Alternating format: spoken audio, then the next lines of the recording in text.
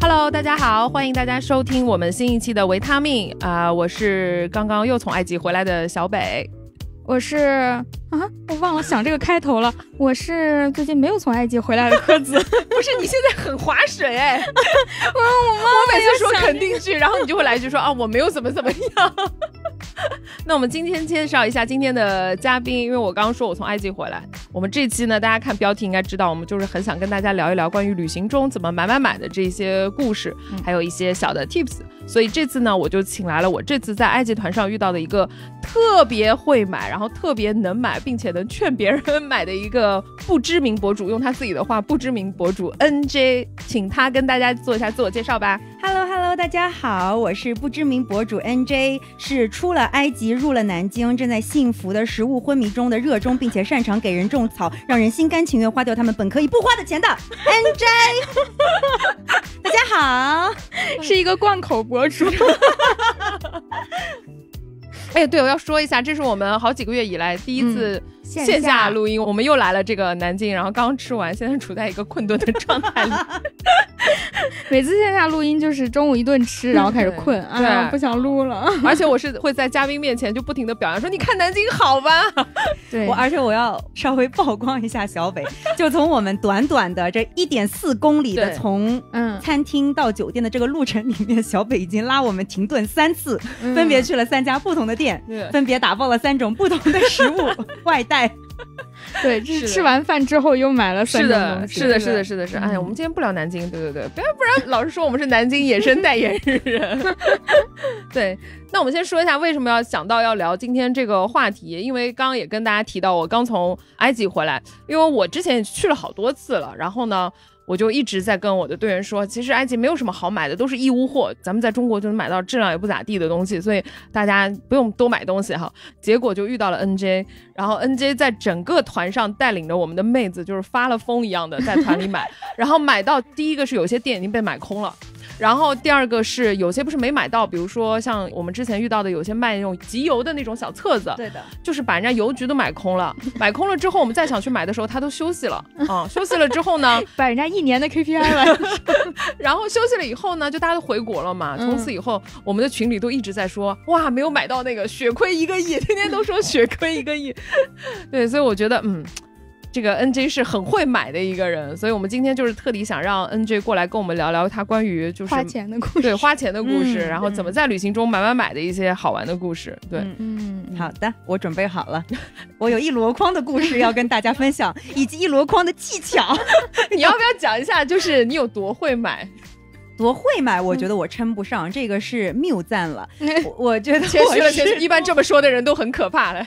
但是我是真的很爱买，嗯我觉得我已经跟自己自洽了。就是之前如果人家问我说，哎，你的爱好是什么呀？哎呀，我就是嗯喜欢阅读啊，我喜欢旅行，嗯喜欢看电影，喜欢绘画这样子。但是我现在觉得我 number one 的爱好。嗯，我非常光明正大的承认，我就是喜欢购物，我就是喜欢花钱，我就是喜欢花时间，宝贵的时间在淘一些喜欢的、可爱的好玩的物件上面，嗯而且这个东西它是能够给我带来真真实实的快感的。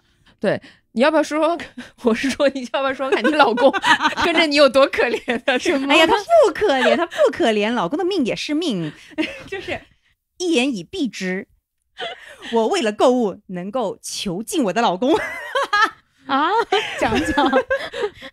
就是我们去巴黎的时候，因为我老公他第一次去巴，哎，很多人都不知道我结婚了，其实谁在乎啊？真是的，我一直在想，你要干嘛？你要来这个节目，没让你来征婚，这是。不是我我的意思就是这样，因为他有一个代号叫贾老师嗯，啊，那就叫他贾老师吧。好的，好的。对，就是我跟贾老师在五月份去巴黎的时候呢，我夸下海口，我就说，嗯，姐带你玩儿，因为我之前在巴黎上过学嘛，也比较熟悉那边的购物的地方在哪儿。然后他是第一次去巴黎，嗯我们本来是去法网的，那看了法网之后呢，就第二天比如说休息啦啥的，嗯然后结果在那边一个礼拜过后。约了一个我们在巴黎的朋友，在那边聊聊天啊，吃吃饭啥的。然后我们的朋友就问起了，他说：“哎，你们到巴黎都一个多礼拜了，你们都看了些啥呀？”贾老师沉默，然后说：“我想去巴黎 铁塔。一个礼拜了没去，你不会这一个礼拜都把你老公囚禁在商场里吧？对啊，就是你知道吗？巴黎有一个非常好买的商场叫做 Le Bon Marché，嗯，然后我就把他囚禁在那儿了，让他让他给我做数学题，让他给我算 怎么样买是最实惠的。哎，那你老公是个好男人，可啊，以确实是好男人陪着你逛一个礼拜的商场。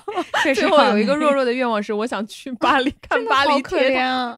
那既然 N J 讲到他这么会买，那我们第一个先要大家分享一下，就是一般我们到了一个新的没有去过的旅行目的地，都会去哪里买东西？除了商场之外，哈，嗯商场、嗯超市什么的，这个肯定是大家都知道，免税店呐、什么的。那我先说一个吧，我一般是这样的。呃，我因为我去的发达国家好像的确不怎么多，我喜欢去那种发展中国家嘛。然后发展中国家有个比较有特色的一个交易叫做 Fair Trade，就是他们有很多商店都有的名字就叫 Fair Trade，有的叫其他名字，但是它是一个叫公平交易的这么一个一些小商店。嗯然后那些商店里面主要是一些，比如说他们为了帮助当地的女性妇女去提供一些，比如说一些手工艺品啊，嗯或者是一些纺织品，然后他们会把这样的女孩子做的东西，然后放到这个商店里面去卖。然后其实你们可以理解为，它就是少了什么中间商啊，少了一些剥削，然后让这些手工艺的东西直接到了这个家店，然后你买了之后，它就能直接返利给到手工艺人，然后去帮助当地。然后我就蛮喜欢去这种店里面买的。所以其实如果大家去，比如说埃及、印度这些国家的话，大家去搜这种嗯 fair trade 的地方，第一个我觉得他做的东西。嗯、我自己个人觉得，矫情的说，我觉得很有温度，因为它的东西也不是那种工厂做出来的。嗯、当然了，就是大家都一样，工厂女工也是女工，但是我觉得第一个就是他们的手工痕迹很重啊、嗯也不一定是最精美的。然后第二个是有的你如果能遇到的话，他们很多的那种工艺品上还会留下制作者的名字啊、虽然他们不一定是艺术家，但是我觉得这个很有意义。然后第三个是。我觉得有的时候他们做的东西就是有一种丑萌丑萌的 感觉。我曾经在土耳其的一个类似于这样的一个集市里面买到过一个老奶奶做的东西。说实话，我现在都不知道那个东西是什么，是一个四方形，长了四只脚，然后头上像一个蜡烛的火焰一样，一个编织的东西，是一个小挂件。当时我一眼看中它的时候，我觉得哎，这个东西好丑，但是好可爱，不知道是是不是任何的生物体，但我觉得很可爱，我当时就买了。你没问他那是什么啊？我我没问哎，然后后来我就我就问我朋友，我说我买了一个这个很可爱，我一看它我觉得很治愈。我我朋友说，哎，这不是小龙虾吗？这我不知道为什么 他们会联想到小龙虾。我就喜欢这种丑萌丑萌的东西，然后手工痕迹很重的。所以如果大家会去到这样子的国家的话，可以去搜一搜，看这种小市场里可以买到不错的东西，很有纪念意义的东西。嗯，嗯，对。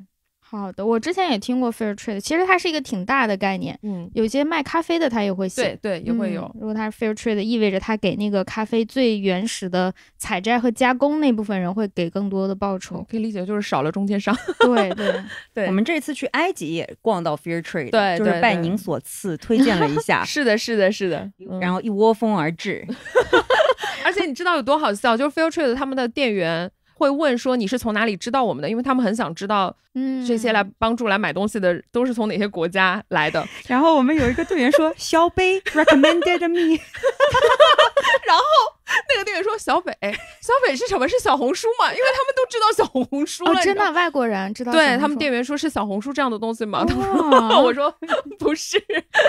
小北指南。对对对对对，小北指南。但是我要说啊，Fair Trade 其实它不仅存在于发展中国家或者落后国家，它其实是在发达国家也会有的，嗯。而且特别是会存在那些。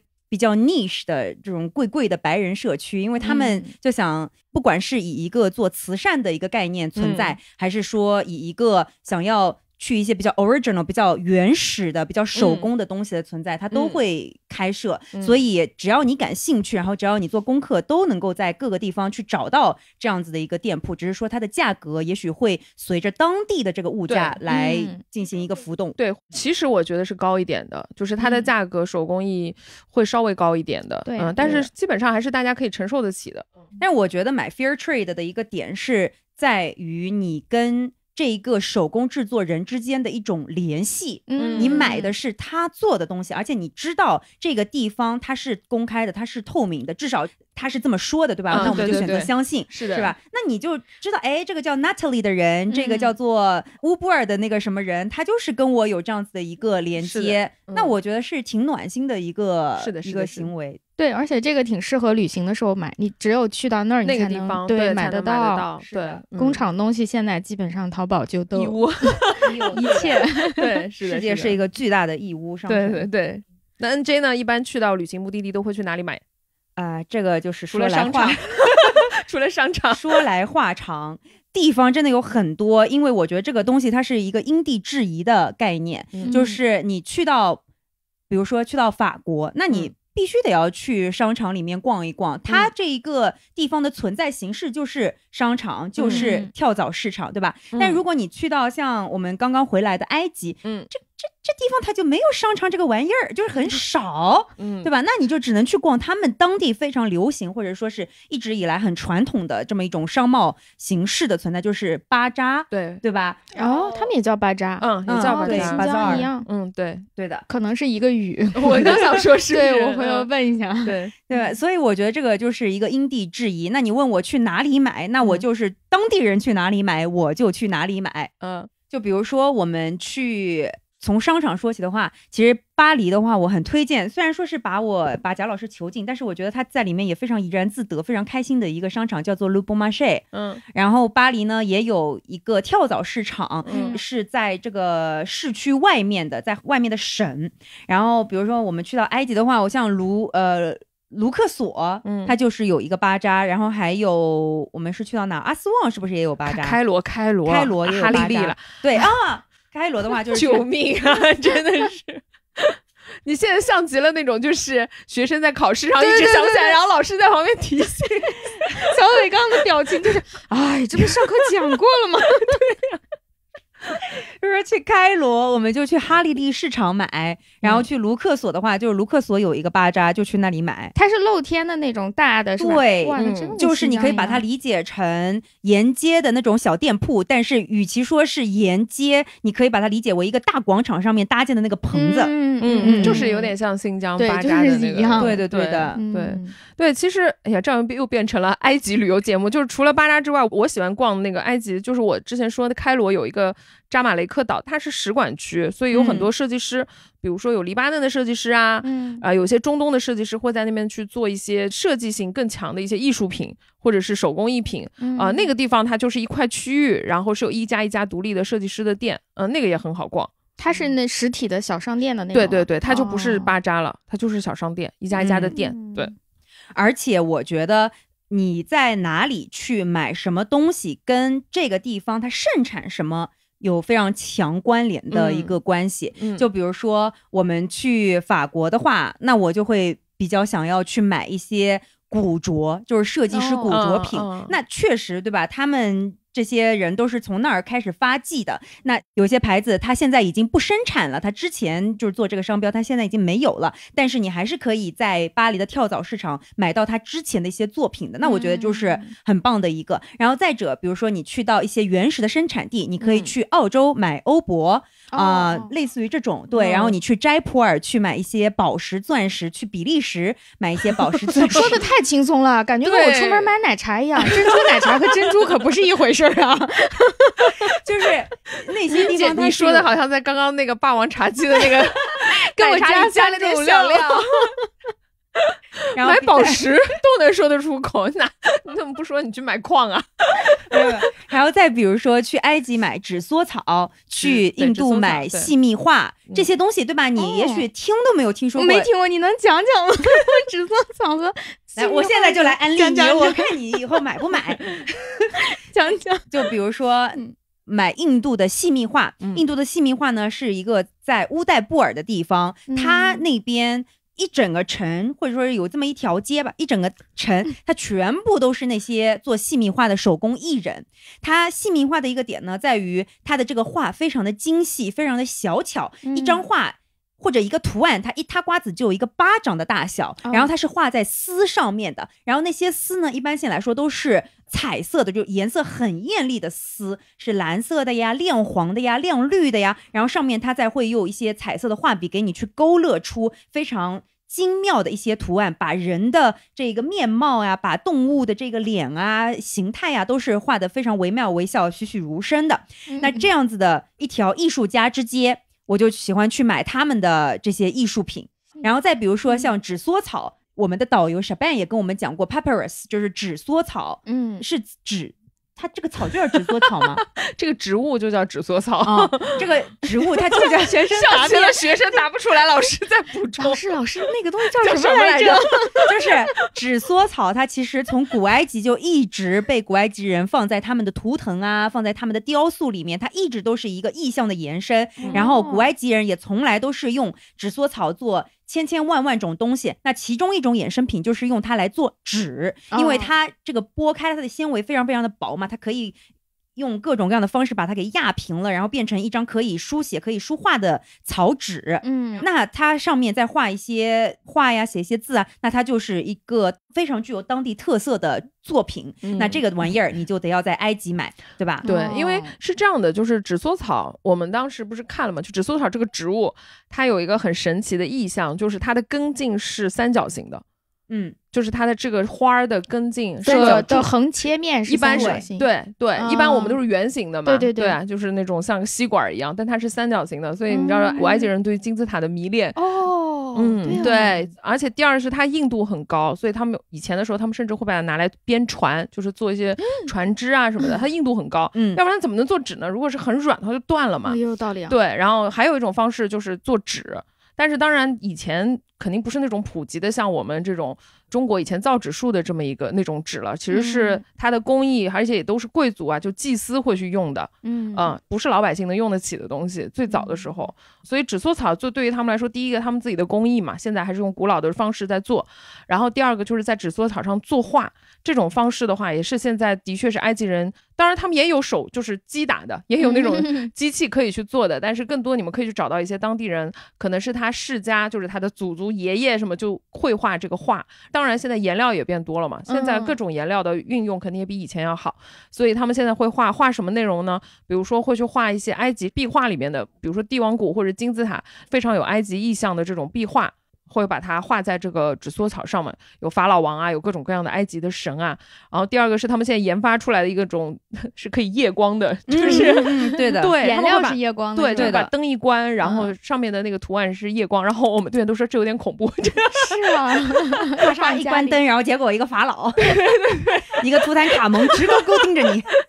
对，倒是很好的一些作为游客或者作为一个当地的纪念品的一个东西。而且现在你们知道，就是在埃及买，你可以跟他大量的砍价，然后可以买到很便宜的。如果你们愿意在国内的话去出手这个，比如说他放到闲鱼上去可以卖的话，倒卖。可以卖很贵。嗯，哎，对对，我问一下啊，比方说你在那边砍价可以砍到多少哎钱？有请砍价，哎，砍价这个事儿，我有话说。首先，我个人觉得，就一个地方它的价格，它肯定是有一个市场价的嘛，就是学嗯经济、对吧？咱咱经济经济学老师都在这儿了。它就是虽然说这个地方的也许平均工资啊，或者说是生活成本确实不如你来自的地方那么的高，嗯但是我个人认为，如果他开的价没有说那么的离谱，或者说到一个你完全不能承受的价格的话，我觉得砍差不多就可以了。因为哦在我的理解里面，你去进行购物跟小商小贩讨价还价的这个环节，其实也是你旅行当中的一个体验之一。嗯所以说，如果砍价的话，真的没有一个标准的公式，说、嗯哦，你这个地方你就往百分之，对，你就往五折砍，你这个地方就往四折砍。我觉得没有，真的是各花入各眼。你觉得它值多少价，它就是值多少价。其实你嗯往大处了看，在我们社会程序、社会秩序非常非常完善的所谓的艺术品拍卖行，它其实也是一种讨价还价的行为，嗯是但是它只是说放到了台面上，它更加的被大众所认可。但是你细想一下，它是不是确实也是各花入各眼，一人一价呢？那我觉得就是在一个你旅行当中，如果你觉得这个东西它值你现在感受到的这一份欢心、这一份喜悦的，那只要不是特别夸张的价格，我觉得都可以。你怎么那么一本正经？就是千金难买我愿意。对对对，千金难买我愿意。答辩真的，真的，你现在是有种学生党。没有，我跟你说，我我买东西就是这句话：千金难买我愿意。就是如果这东西我不喜欢，你再便宜我也不喜欢。你们这次买了吗？嗯这个就是画画出画的卖这个卖卖，我批发了，你大概 你最后买回来大概多少钱？它有多大呀？我没概念。大概就是 A 四纸的大小，大哦一圈。A4，嗯，哦哦，明白了。这么一张大概多少钱？我其实去了很多家，从哈利利市场到各家的巴扎都去问过，然后我觉得嗯，比较好的，确认是手工画的，我大概买下来是一百埃镑一张，大概嗯两美金。哦哦，这么便宜啊！对你觉得是便宜的吧？我刚还说贵了，啊，这样我听半天，我可以再看内心的预期已经从珍珠奶茶变成珍珠啦。对吧？所以我觉得，如果你你认为这个嗯东西它是值这个价格的，就完全可以。而且我确实觉得它这个值一百埃镑，是因为很多纸缩草，就是在埃及很多卖纸缩草的地方，它是给你。印刷的，它不是真正手手工的。工你知道我是怎么判断那家店它就是纯手工的吗？嗯是因为我们跑进去，我稍微就是估量看了一下，然后突然间看到了一张纸，上面写了中文，他说中国人不骗中国人，老板是美术生。然后 真的呀？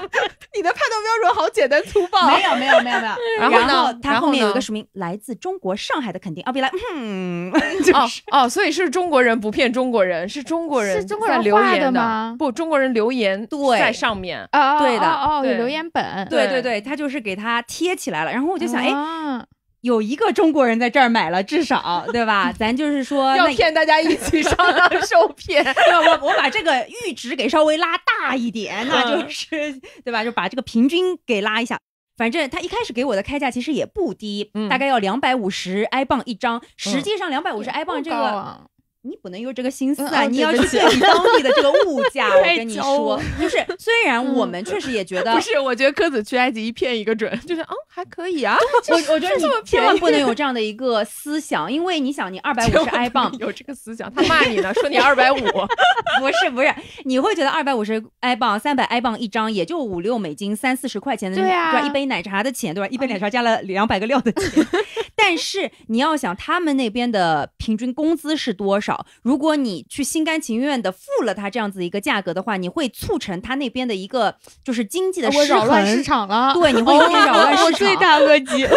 不是不是你，就是你也不能说劣币驱逐良币，但是它 还但是它会，它会让这个市场，就是自由市场的话，它会形成一个往那边偏袒的这么一个方向。嗯那久而久之，很多人他也许就对吧？他米糕也不卖啦，他甘蔗汁也不榨啦，他就去卖直缩草，他就去卖给中国人。就卖你二百五，这这个也不行，对吧？他抬高了整个物价的话，你说这个也不行，也不行的。嗯，要有一些社会责任感，买东西。也不是这个意思。但是最主要就是你要去根据当地的这个物价来去进行一个好一点的衡量，而且我又想，就是像买卖这个东西，它其实就是一个。谈判的过程，你觉得贵，嗯你觉得便宜，都是因人而异的嘛。嗯那谈不成，买卖不成仁义在嘛，对吧？就再见、嗯、，Thank you next。嗯，对，而且我觉得就是像我知道一些，比如说像埃及啊、土耳其啊这些国家，其实他们也挺喜欢讨价还价的。我觉得嗯阿拉伯商人是一个，就是也是一个非常精明的商人，然后他们也知道你要还价的，所以他们有的时候开的价格就是高的。因为我们中国人觉得，就或者说我们现在大多数人，因为在城市里都是 fixed 城市生活对是这样，就是快嗯。点，就是你给我一个固定价，我觉得 OK 就买，买完就算，这件事结束了。但是我觉得在旅行中买东西一定要享受的是什么？就如果这个东西也不是一个日用品、急需用的东西，你反正也要买，那你就是觉得说，那我砍砍价，看看他们有什么反应。有的时候砍价是一种体验。就我可以讲一个故事，就是我当时也是去埃及的时候，有一个女生，然后我就跟她一起，当时她也是买纸缩草，嗯但是比你刚刚说那个尺寸小一点。嗯，他就问我，她说这个大概多少钱？我说差不多两美金，我差不多跟你是差不多一个价。她说不，我一定要砍到一美金。我说不可能的，我说怎么可能？到现在为止我都没有见过谁一美金成交。然后这句话就激发了他的那个 就是胜负欲对，我他说我中国女人一生要强，然后他就去砍，他每家店都往一美金砍，而且因为这些东西怎么说呢？就是说反正。买不买我也不亏对，嗯就是反正亏的是那个商家嘛，他肯定想做成这个生意嘛，所以就一路非常非常执着，而且你知道，你只要展露出那种你好像很喜欢，但是你又愿意砍的这种状况下，那个商家就是会追着你说，那你说多少钱嘛？就是对这种对对，就有点像我们那种小批发市场、服装市场那种感觉。然后呢，大家就要跟你拉扯很多很多个来回，你为了这一美金，你可能要在那儿耗半个小时，跟他说不不就一美金，然后那个埃及人就会说啊，我们是 friends 啊，我很喜欢中国人的、我送你很多很多东西啊，就是你知道，就是商人的那个。那个部分又开始啦，然后开始跟你聊啊什么的，然后就说你看我这个有多好，这个质量有多好，就我觉得挺有意思的。后来好不好不容易，那个人真的受不了了，就是连那个商家都觉得我的这个朋友实在太坚持了，因为他就说一美金多一毛钱他都不会付的，而且他就真无所谓，他就要走了。结果后来人说，好吧，好吧，好吧，那就一美金一美金嘛，反正他也不情不愿的就成交了。就我朋友掏掏掏口袋说，我没有一美金。他身上只有 i 镑，最后还是付了一百 i 镑 给别人。哦，他们还是用两美金。成交的，其实。但是他就是享受这砍价的过程。对，他就跟我说、哦没事没事，这说明还是可以的，重在参与，重在参。与你那个朋友是不是 交易员啊？不知道，他就觉得很很爽，他就觉得目的达到了，但是最后是用一美金成交还是两美金，真正付出去的这个钱是什么，他其实都付得起。但是对于他来说，他就觉得，哎，我做到了。哎呦，我跟你说，他这个行为真的让我想到了我一个交易员的朋友，他非常喜欢讨价还价，嗯，就是他不是付不起这个钱，但是他就很喜欢去跟你。一分一厘的计较，因为你要知道，交易员他就是对于数字这个东西非常的敏感，他在市场上面他能够砍你一分，他就能够赚很多很多钱，就是他有一个嗯胜负欲在里面。嗯，哎呀，我的妈呀，他就是贼喜欢砍价。那你怎么砍的呢？因为我当时没去啊，是他带着我们团里其他的姑娘去买，买到最后的时候，他说他已经累了，就是对方已经说中国女人太 strong 了，他还跟贾老师说让贾老师离开我，因为我太 strong 了。你们到底发生了？让你你们到底发生了什么？你你们我不知道他具体会发生了什么。不是呃，那个是在商场里面嗯去买那个香水。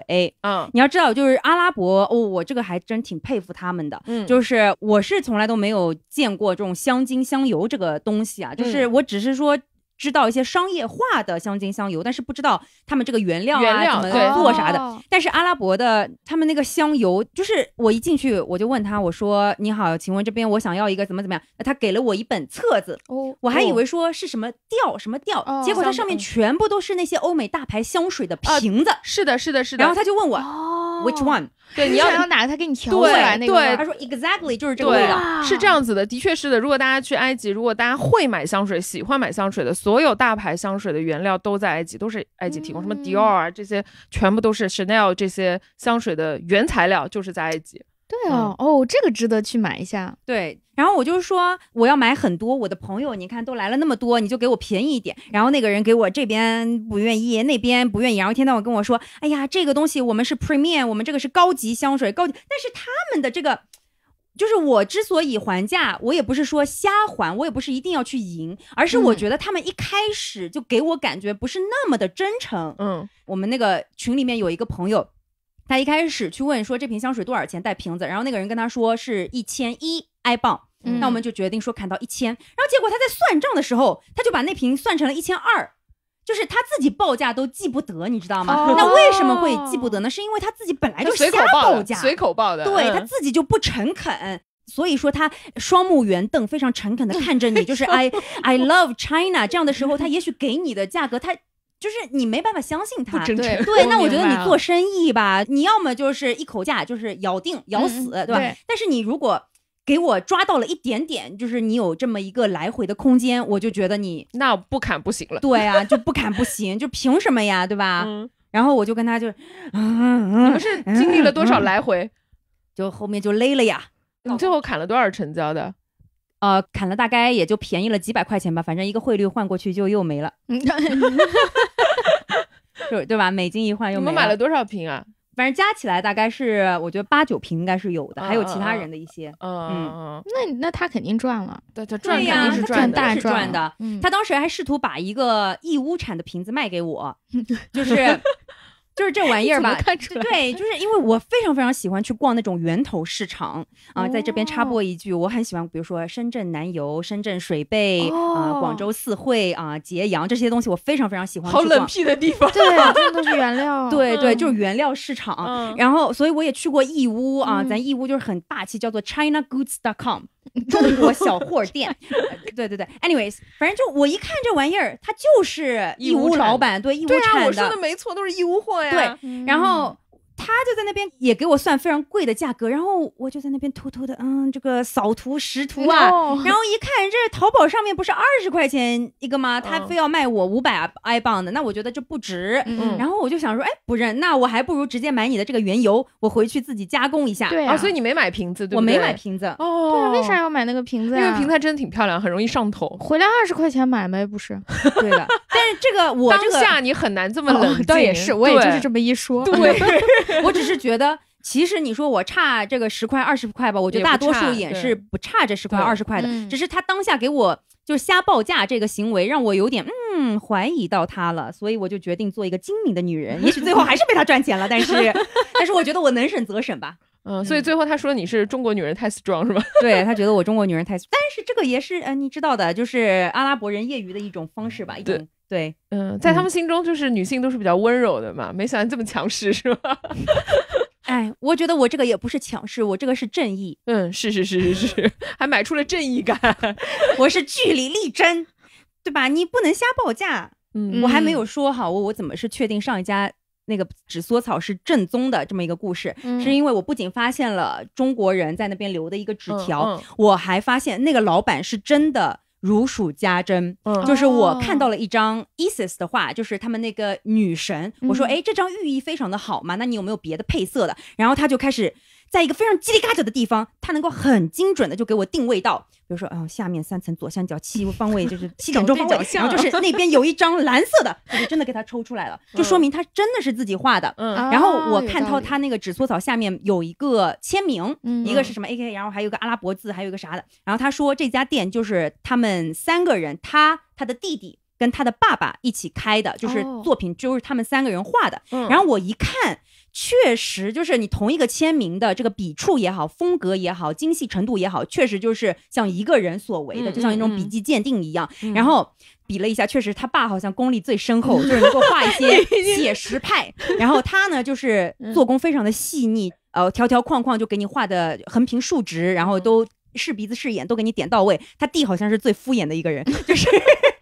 不要画那叫浪抽象浪漫。他弟就是你知道纸梭草上面也画也是非常的精美嘛，那你想画人画动物，肯定就是要比画那种符号要来的难一点，对吧？嗯他弟就会画，比如说赫鲁斯之眼，啊，画那个黑猫，啊，贝斯特，对他弟就画一个 画一些就是比较简单的图腾，画一个甲壳虫，嗯，那个圣圣甲虫对圣甲虫，然后他呢就画一些，比如说拉美西斯二世，嗯然后他画一些什么 Nefertiti 这些，嗯对，然后他爸就画一些埃及哈利利市场这个这个写实全种貌，哦非常漂亮。哦，这个漂亮画才卖一两美金，你们不觉得非常便宜吗？哦，那个画是贵的，哦他爸的写实派是贵的，哦，那你 这个应该的，也只卖一两美金吗？哎，他爸那个画卖多少钱？五百埃镑。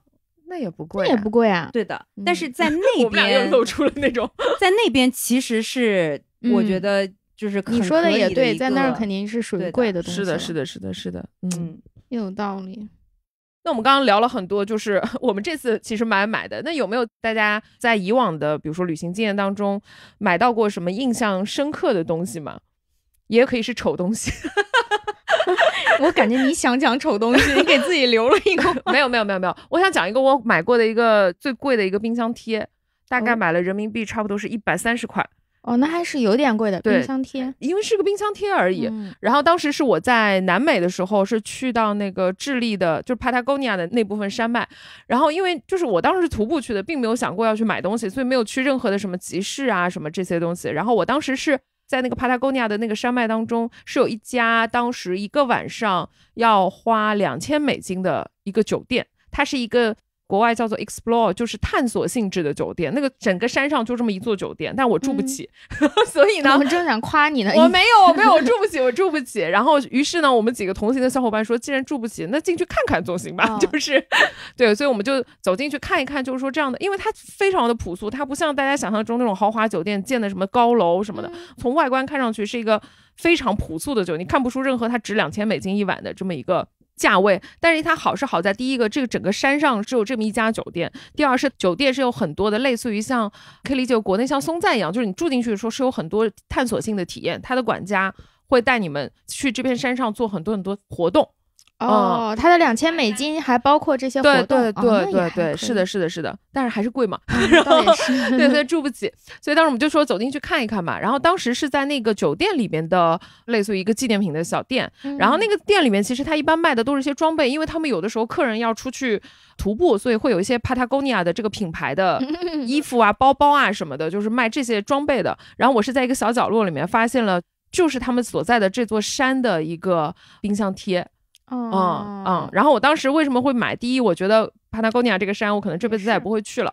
然后第二，我觉得我也不太可能会去住，这辈子也不一定能有这个机会再住这个酒就是店了。两千美金掏不起，对对，但是我这一百多人民币我还是掏得起的，对对对。嗯然后第三，我觉得这山上其实就这么一个可以买东西的地方，就是想在这个位置稍微做一点纪念，所以我当时我就买了一个这么贵的冰箱贴。哎，你别说，吗？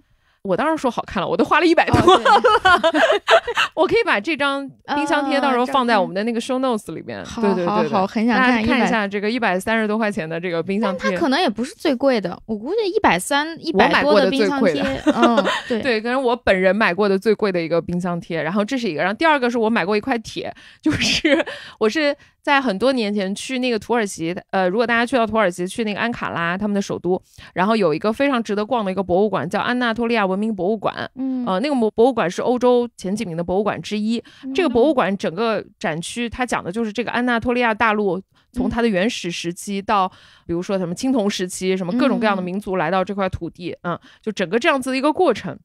然后为什么我现在对那个东西印象深刻呢？是因为当时我是看它造型很好看，它是一个铁做的，就是一块铁做成的一个太阳盘，然后上面挂满的就是是一个鹿角，是一个鹿鹿所谓。太阳盘是个什么？对，，然后我当时也不理解，我想什么叫太阳盘啊？为什么这不就是个鹿头，然后后面画了一个圆圈吗？怎么就是太阳盘了呢？但是因为当时我觉得这个造型很好看，我就买回去了。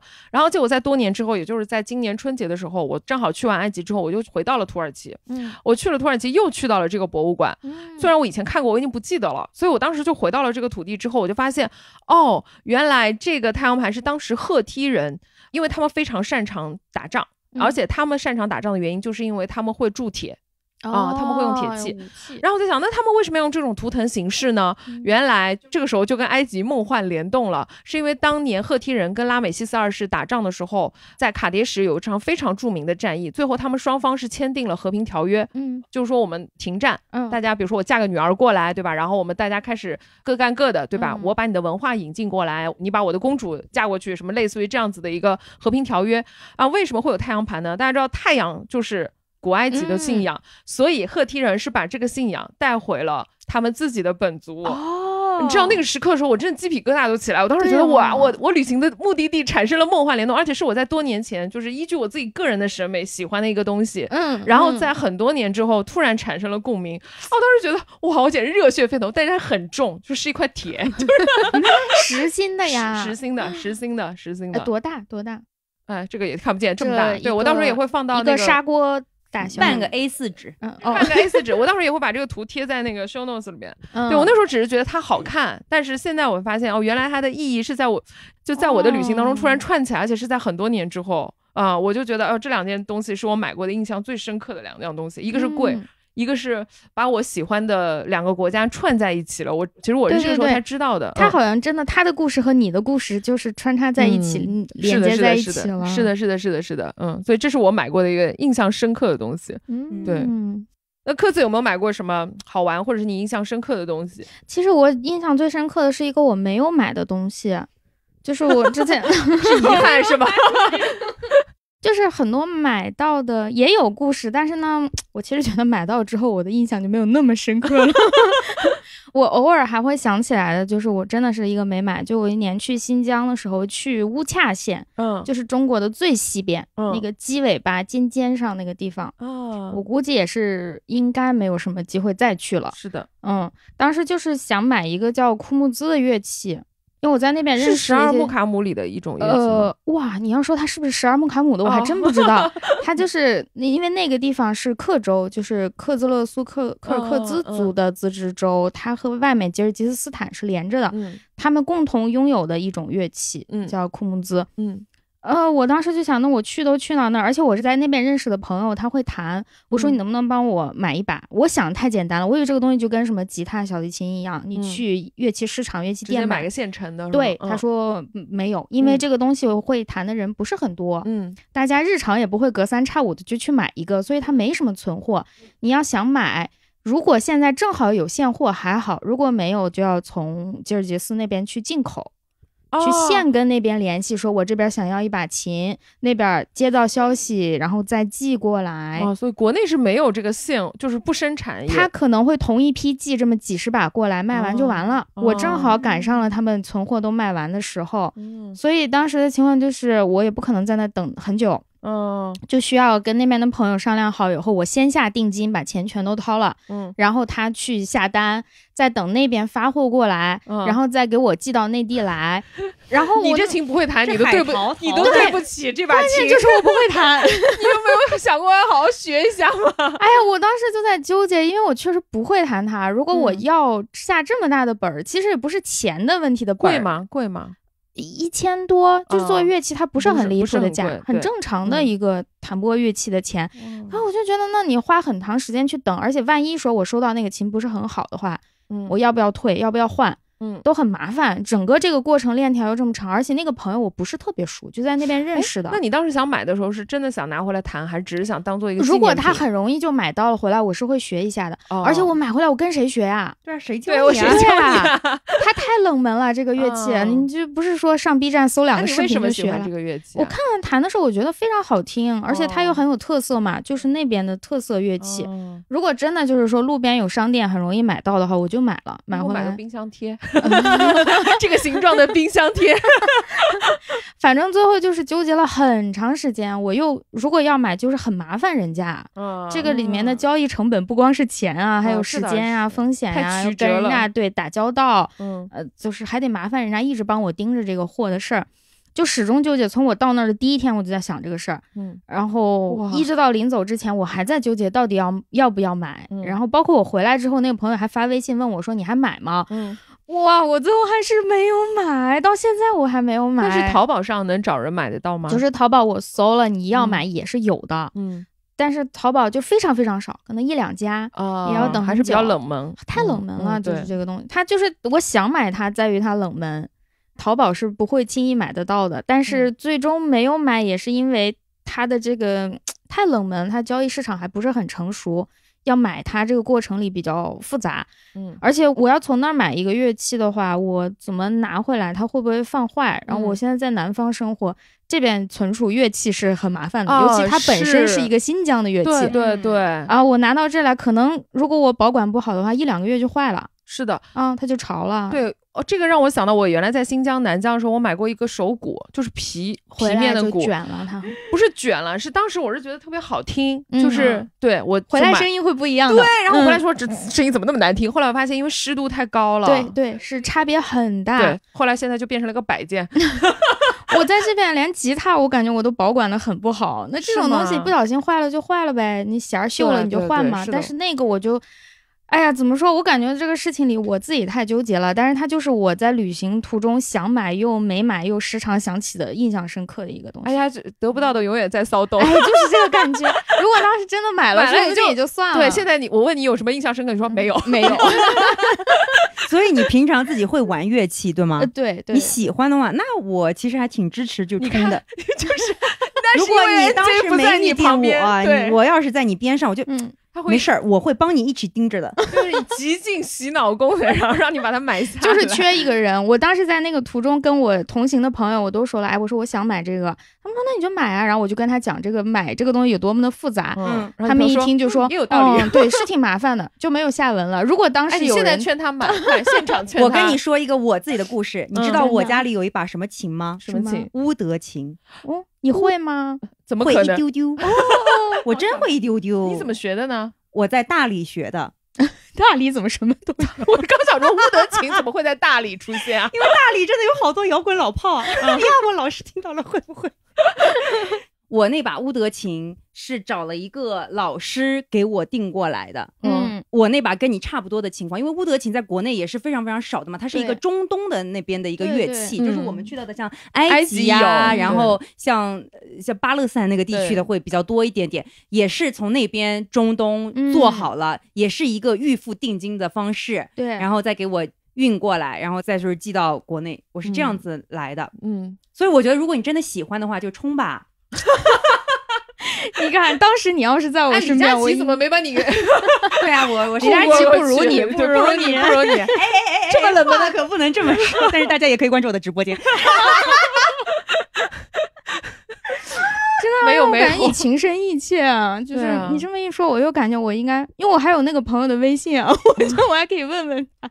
然后包括我也会买马头琴，啊，你也有马头头琴国内还稍微好买一点，会好买一点点。嗯，嗯、你如果要的话，我也有这个 dealer 的 contact，也有一个卖琴人的信息可以给到你。对的，嗯我觉得像这种东西的话，呃，这个也看你的这个生活方式以及你生活重心。就如果你在这边已经定居了，那我看来你好像已经定居了，对吧？那我觉得你是有这一个他买房了，哇，那你这妥妥的，你你想，你琴都买了，你去买一个干燥柜，你多买点炭包，这又是多大的事你儿呢？看用我那集那个省钱大法的那个干燥柜买也不也不 对吧？你看着也不贵它，你你回想起来的是你在新疆的，就是对那把琴，对那把琴的音色动心的那个瞬间。嗯，但的确是的，就是我觉得有的时候到起了眉头，不是他好像真的他真的在思考，我真的在思考。对，比如说我就说我之前买那个太阳盘，我当时买它的时候根本就没有概念，只是觉得它好看嗯就买回来了。但是现在你就是会在很多年之后又跟它产生了一些联系，我觉得这个感觉还是挺好的。谁知道呢？有些东西，嗯，哎，对就是因为这个东西不是易耗品，就是如果是易耗嗯品，对，我想我买的最后悔的，我觉得就是早年我刚去欧洲啊。什么美国这些国家，那个时候免税店还是很流行的，嗯然后天猫这种还没有做的很好的时候，我买的都是一些什么大牌的什么护肤品啊、彩妆。啊我现在觉得刚开始大家出国都是这哎呀，样。我最后悔的买的就是这些东西了，嗯然后钱花的又多，然后现在让我想，我也想不出个什么东西出来。我觉得，哎呀，也不用后悔，你看你都用到了，你的皮都抹到了，都给你吸收了。你要说到这个，我有一个后悔，就我去澳洲玩，嗯然后我本来就黑，去了以后又狂晒了一周多吧，然后就达到我人生最黑的一个巅峰。我回来说在免税店，我正好粉底没了，我说我在这个免税店买一个吧，我就照着当时的肤色挑了一个。嗯，那个那个柜姐人还蛮好的，她提醒我，她说她说妹妹呀，你是最近玩的晒的，她就是在暗示我、你这个颜色有点黑了。我还没反应过来，我说我不喜欢粉底太白，就这个就这个。她怎么劝我都就这个。然后我买回来，我后来那个粉底可以当做阴影来用。那一瓶用了可能有五六年都没有用完一半儿，哎，笑死我了。就是出去以后会觉得啊，外面化妆品便宜啊什么，就会买，就是会买错，这是最明显的一个我觉得第一个是买错，第二是嗯我觉得用完我也就忘了，因为啊后来发现国内也都能买得到了。嗯其实很多，就就算是国内现在没有专柜的，你可以通过很多很多的现在没有那么贵了，渠道对渠道嗯也能买到，然后也没有那么贵。我觉得那我大老远的又买，然后又背回来，然后我就觉得嗯。还不如买一点这种有纪念价值的东西。然后我一嗯看到这个东西，我就想起，哎，当时我是怎么喜欢它的。嗯而且你知道，我以前还买过很多这种什么，在美国买了很多什么衣服呀，什么乱七八糟的，然后发现现在也穿不上了，最后也就是咸鱼都出了。但是你当下买了呀，你当下开心了，你当下穿了，你当下美了，这不是也是一种财富吗？呃，不记得了。嗯对我现在主要是想不起来，我再美我也记不得了。那你没有碰到我，我会给你拍两百张照片，让你留下美好的瞬间。好，对还押韵。对，就是我现在有的时候看看我那些旅行纪念品，就会想起说，啊，我去过这个国家，我当时看到这个东西的时候，我是在干嘛？嗯甚至你还嗯会想起卖东西给你的这个人这个人，对，嗯你们当时嗯在那个店里面发生了什么？我觉得这个比较有意思。所以，我我现在觉得出去买东西，我就是会买一些这个。然后，为什么我之前一直说，哎呀，埃及不好买，是因为我就觉得这个东西好像我感觉在幺六八八上我也能看见。有时候我就会经常不没有花太多的时间和力气在买东西这件事情上，但是我觉得 NJ 在对买东西 这件事情的热情就是嗯非常的高涨，嗯始终买东西给你提供了很强大的情绪价值。对的，而且埃及说实话是真不好买，但是我也能给它买出来。对，就我说的不好买的意思就是你要花很多时间去找，对你要在那个，因为说实话，那个市场是很眼花缭乱的，然后质量也参差不齐，嗯然后你要很会挑。如果假设你能跟一个比较会买的人，嗯，他一走进去觉得，你看他就说了，凭什么中国人不骗中国人就能判定、啊？他们的画风如此不一致，至少那么多买纸缩草的店，你能找到一家，然后你还能砍到一个你觉得心仪的价格，我觉得这就叫好买。但如果你自己没有人带着你买，你一个人去买，你就会觉得很没有兴致。有时候我觉得买东西是一种氛围，对的，对你要跟一个很喜欢买东西的人一起去买，你才会兴致高涨这。确实确实，嗯我自己出去就是经常什么都买不回来，逛会儿觉得没什么意思了。天哪，我可以帮你，下次跟你一起，嗯。可以可以。多带一点钱出门了。那 NJ 呢？然后现在我们一直 Q 你，你要说说嗯看你旅行当中买到的，或者是你最印象深刻的一些事情是什么呢？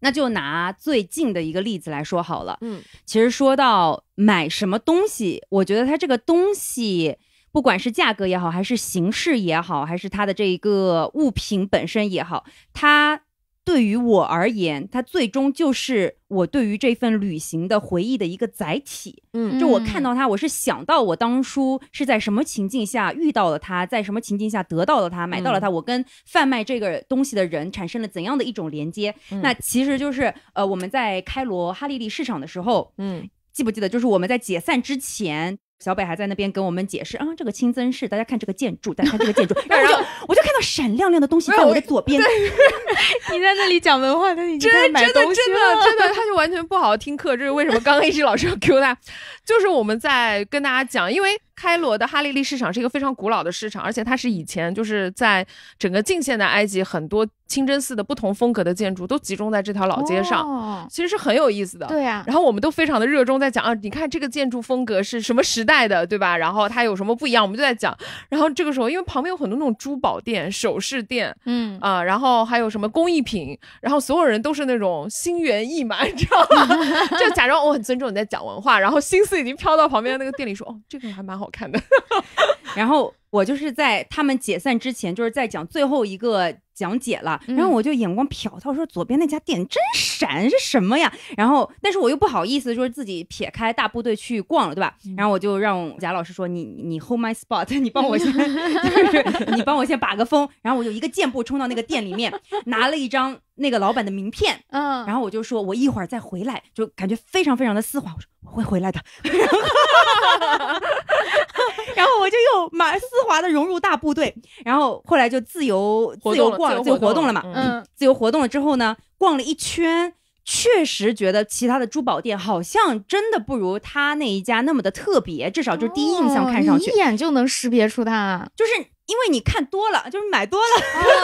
哦对对对对对，确实啊，就是你这个东西的一个质感也好，还是它的这个设计也好，你可以说它不是原创，不是手作，但是至少它这一个店主他挑货的眼光是不是审美跟你审美嗯跟你对就看一起了，眼对眼了。反正我那时候就回去了，回到店里，你知道那个阿拉伯商人那个老板第一件事说是什么吗？嗯，他说：“谢谢你回来，你想要喝什么？”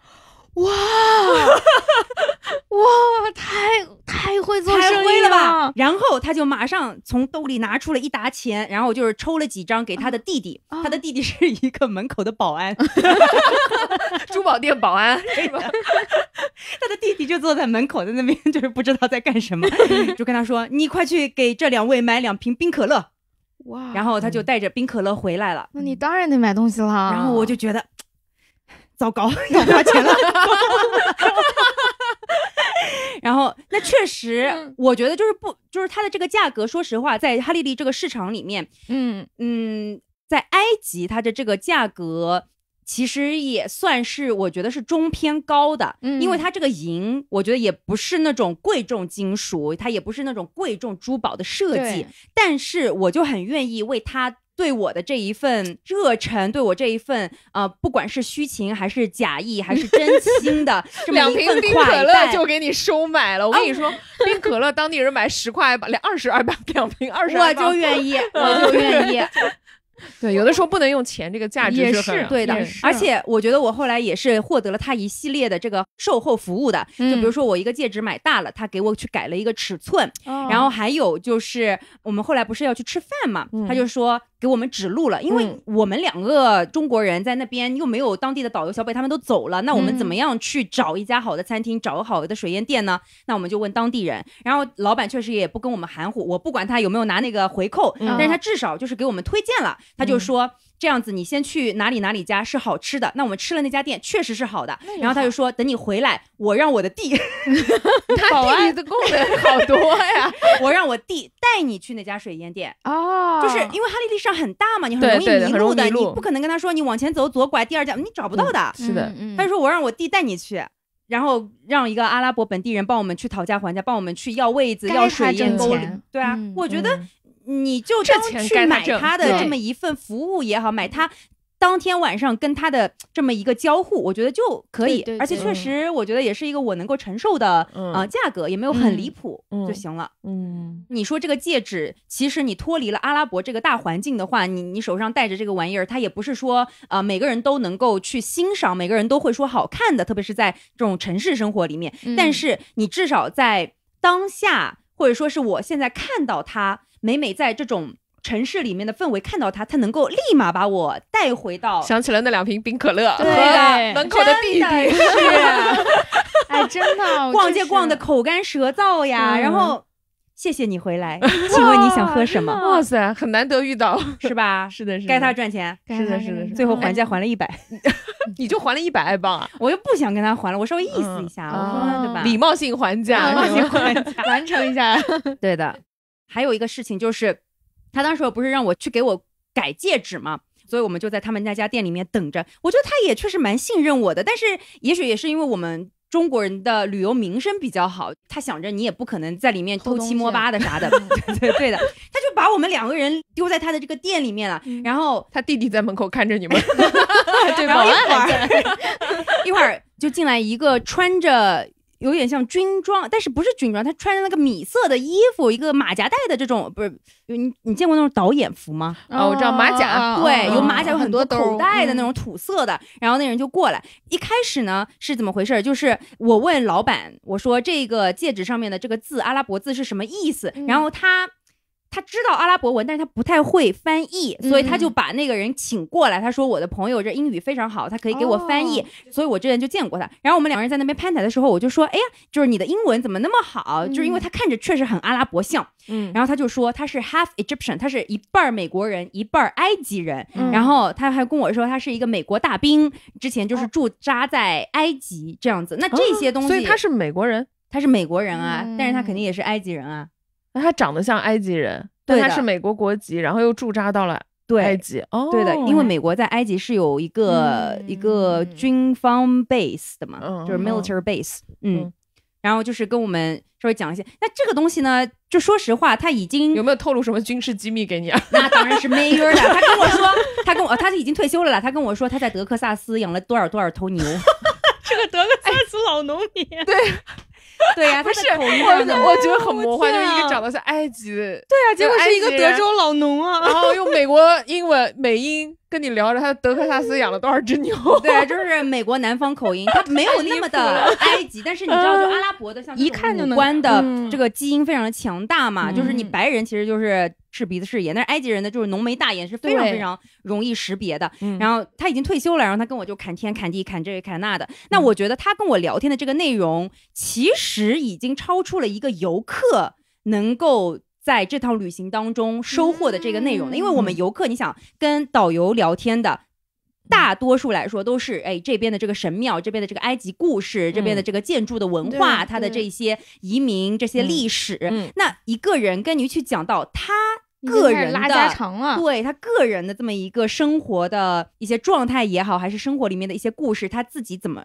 到埃及这边来驻兵的，他怎么又是一个入军，就是到美国军队，但是又被派到埃及这边来的。那这个其实已经超出了一个旅游者，嗯特别是像我们这嗯种七天旅游团的嗯这么一个信息量了。嗯所以我觉得也算是旅行当中的一个小故事吧，它不足以让我觉得说多么的深刻，嗯没有多么的深刻，但是。至少是一些不一样的东西，嗯对，已经拉家常了。嗯确实，这个嗯这个东西买的值，买来了一段经历。是啊，就是买来了一对经历啊。嗯。嗯，而且我觉得，就是有的时候买东西是一种触角，就是你也不知道你会遇到什么样子的店老板、什么样子的弟弟和什么样子的会翻译的人。是的，对，有的时候就是好，有的时候可能体验也不一定好，但就是某一种经历，而且你不买，你就永远不可能发生这个经历。对的，就是一些交互嘛。对，对你在安全的环境里面就不容易产生这些交互嘛。你这么一说，我又想到，就是虽然说买东西它是一个体验啦，嗯但是我为什么经常犹豫？包括我刚才那个故事和我经常买东西，就是转转转到最后我什么都没买，嗯就是因为我感觉这个东西回来也能买。你们会考虑这个事儿吗？你其实刚刚提到那个瓶子，如果说那个瓶子在那儿没有卖你那么贵，你也嗯知道义乌也买得到，嗯淘宝也买得到，你最后还会买吗？买啊，还是买啊？对，但是呢？那家店实际上是一个特例，因为它报价不诚实，所以我觉得我们不应该把它当做一个范例来去参考着这么讲。但是就你刚刚的问题，如果我知道这个东西它电商上能买，我会不会再买？嗯，嗯，我觉得我应该就不会了。那为什么你会碰到那种电商上也能买到的东西呢？我觉得就是因为你买的不够多。啊，是什么？就是各个地方其实都是能够淘到一些电商上面买不到的东西的，是真正独一无二的，我觉得是可以的。嗯。还有，其实就是电商的发展，它也是一个时间嘛。那我前几年的时候去非洲，我去肯尼亚的时候，去到那个马赛人村庄，然后他们那边会做串珠，然后是红色、绿色跟黑色，就是肯尼亚国旗的颜色这些珠，嗯我就觉得这个手链啊，这个戒指啊，就特别好看，嗯，我就买了。嗯，那会儿我不知道义乌爷掺这个玩意儿啊，我并不知道。放，心，义乌不卖给散客。对对，你就这么想嘛，你就这么想。而且而且你就是你这么去看的话，其实义乌这个东西。它上架就是能够让发展到中国人也能买，它其实也是有一段时间的。所以如果我当下就买到了，我当时确实喜欢的话，我就稍微买一下，反正也不贵。而且我觉得是现在我养成的一个习惯，就是如果我看到什么特别呃，也不是好的习惯，这个也是弊利两端了。我看到我非常喜欢的东西，我会在我的能力所及范围之内，大概买正正好，就不买多，嗯不买那种特别特别大量的这么一个产品。即使是像邮票啊，就即使我是想着之后回去当伴手礼的这些东西，我也大概就买个五六张。嗯啊、五六本儿我就可以了。嗯像之前的话，我也许会就是三十本儿 这样子这样子买。啊，对的，我之前会的，你是干嘛拿回来卖吗？还是说没有啊，拿回来送朋友啊。哦我记得我当时候去非洲，非洲真的是什么都买不到啊！我跟你说，就是他们那些 非非洲，哎呀，非洲至少我去的那会儿吧，他们这个还没有非常的精细，就是他们的商品也没有很多样，嗯周边也没有做的非常的好。我一看就是中国制造的味有点浓了。嗯我实在没有什么东西好买，我就买了半箱子的咖啡豆回来。哦啊，嗯半箱子咖啡豆嗯，哦，你自己背回来？对的，因为我们没有什么东西嘛。嗯嗯对我去非洲那会儿还没有学会旅拍这件事情，嗯嗯，还没有会啊、穿着美美的衣服去那边拍照，没有这个概念。对，我刚刚在想，就是说，如果比如说什么东西，我们都拿淘宝或者图片识别一下，看国内有没有，我觉得会有一个问题是，你会对世界失去兴趣。对的对，嗯，就为什么我说埃及不好买的原因，但是我们这次团员都觉得挺好买的，就就算淘宝上有，他们也觉得挺好买的，就是因为我刚刚说，有的时候买是一种氛围，一种交流。然后第二，你如果觉得什么都买不到，其实你就会觉得什么都不想买，因为你回来也不会买啊，嗯嗯，对对对，对吧？对我识别完，并不是说我回家下单了，对的，你当下买的感觉还是不一样的。对啊，就是你你不会带回来这份记忆的，你带回来的是我淘宝上能找到，然后就结束了，这件事情就结束了。除非是说会有一种情况，就是我要买那种。比如说我们以前去那个新疆，然后买、或者是内蒙买那种奶疙瘩，就是哦拿回来当伴手礼。这种比如说大家不想背，回来分给同事，他们就会啊在淘宝上买。对对，但是如果是一些纪念品，其实你说现在淘宝上是不是有的卖？你肯定有的卖，但你回来你自己坐在家里面，然后买一个非洲面具回来，好 奇怪呀、也是啊，对呀、然后你回来干嘛呢？就是你没有任何记忆，你只是得到了这个物品而已。然后还有一个就是有些东西你买完之后当下就能用，嗯，比如说拍照的时候那些首饰啊，就是那些漂亮的非洲的一些首饰，你拍照的时候或者是你戴着的时候配着你的衣服的时候就有了。但是你回到家里边，第一你不会买，第二你买了你也不一定搭配。对再去搭配了，所以就很多东西就错失了。所以我觉得，如果都从经济实惠的这个角度，或者是它的便利性的角度来说的话，我觉得就很容易失去兴趣。是的，嗯我现在也有这种感觉了，就是我觉得啊，这东西我见过了，哎呀，是是是，对。但是有时候我觉得他们就觉得，哎，这个好好玩哦，然后我就我心里就想说，这不是淘宝上也有吗？但是也不是所有的东西淘宝上都有的。其实淘宝上确实不可否认的，就是它真的是包罗万象，应有尽有。对但是确实是有很多东西也是没有在网上卖的，有嗯各种各样的原因。对，要么就是他们的这个运输成本太高，要么就是它这个东西单价太小，它不值得去费这么趟劲儿，嗯对，也都有。是的。所以我觉得还是说，如果你当下看到真的很喜欢，然后就买吧，就是又不是那么昂贵的东西，嗯 不是钻石啊、欧泊、珠宝。哎，欧泊你别说，这欧泊也有便宜的呢，像嗯非洲买的欧泊就非常的实惠。嗯，他鼓动我们队员在那个店里买了好多好多欧泊。对的，西奈半岛产的欧泊，虽然质量不如澳洲的欧泊啊，但是可以看。嗯对我，但我觉得像珠宝这个东西，你是需要一些知识背景的，比如还是说。看自己喜欢吧。对，像嗯我又不懂这个珠宝类的，但如果比如说之前 NJ 告诉我说西奈半岛就产这种嗯这种欧泊，它虽然嗯品质没有那么好，但是在这儿买就特别便宜，就是你自己玩玩是可以的，但是你知道澳洲买就很贵嘛，但它品质当然就好了，但是就很你买的时候就会更加谨慎。对，但如果是小东西的话，我觉得大家完全没有必要那么在意。我这次去埃及，我有一个朋友，因为你们还没到埃及开罗的时候，我跟我另外一个朋友在开罗买，他买了一套床上四件套，埃及棉的吗？对，哦，他就想买埃及棉的，就是我说这东西国内买不着吗？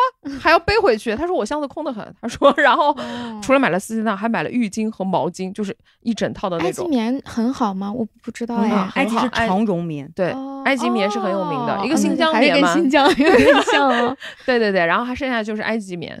嗯所以我朋友居然背了一套床上四件套回去，我当时惊呆了。我说我第一次看到有人要买这个回去的，确实有点惊呆了。对吧？主要又大又重，大家出门一般喜欢买小东西嘛。对他嗯买了这个，而且我们没有在什么旅行市场买，我们就是在当地人买床上四件套的那个店里面买的。然后他说我一定要买上面带着那个。埃及那个标志，图坦卡门不是图坦卡蒙，是那个生命钥匙那个暗盒的标志，它啊上面镶了一层金边，哦，就是用那个符号。他说这个才知道才能记得，就如果你买全白的，哦，你可能摸上去就觉得挺舒服，但你没有这种特别的标识，但是的确挂一个图坦卡没有很奇怪，对吧？所以 你晚上睡觉就好 吓人，我觉得，所以他就买了旁边镶了一层金色的那个啊暗褐的标志的，就非常非常的精致细节，然后漂亮，品质也很好，而且很便宜，大概买下来才两百块人民币。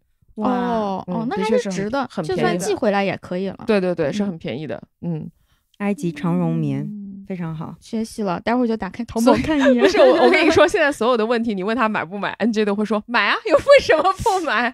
对呀，倒嗯也是，对，我你这么讲完，我是觉得以后我可以转变思路了。我确实有一段时间，包括我自己会觉得，而且你知道，老有那种扫兴的人，你不管嗯看到什么，旁边都有人过来说：“哎，这个淘宝上也有啊。”对对，对对，他一旦说完，我就觉得我要买，我会有点傻。嗯，我我觉得我不是那个扫兴的人，但是我是那个实话实说的人。就是我确实，如果淘宝上有的话，我会告诉你。但是如果是那些非常精美的，而且我觉得当下你能够马上用得到的，就比如说我们去卢克索的各种神庙，它不是前面要走一条长长的道，全部都是 one dollar one dollar，就让你看一看买裙子嘛。我觉得你今天穿的这条裙子就应该配它这个头饰，那你就认了，啊一百埃镑你就买，你买了马上拍照片，那不就出来了吗？对对，对吧？这个东西你淘宝上面就是二十四小时，这个这个次日达也救不了你啊，所以 所以咱就对吧？对就是达不了一点儿。对，所以我就是我也是会去看这个东西，你的一个购买的缘由，以及它你购买的需求是什么，然后它是否有必要现在当下马上买。嗯，对对让，自己去享受一下。对的，那我刚刚在想，就是既然我们大家都去过这么多地方，那你们在旅行当中不同的目的地有什么推荐一定要买的东西吗？那我先说吧，对，嗯因为我会说很短。他刚都说了，我是一个看到淘宝上有就不买的人。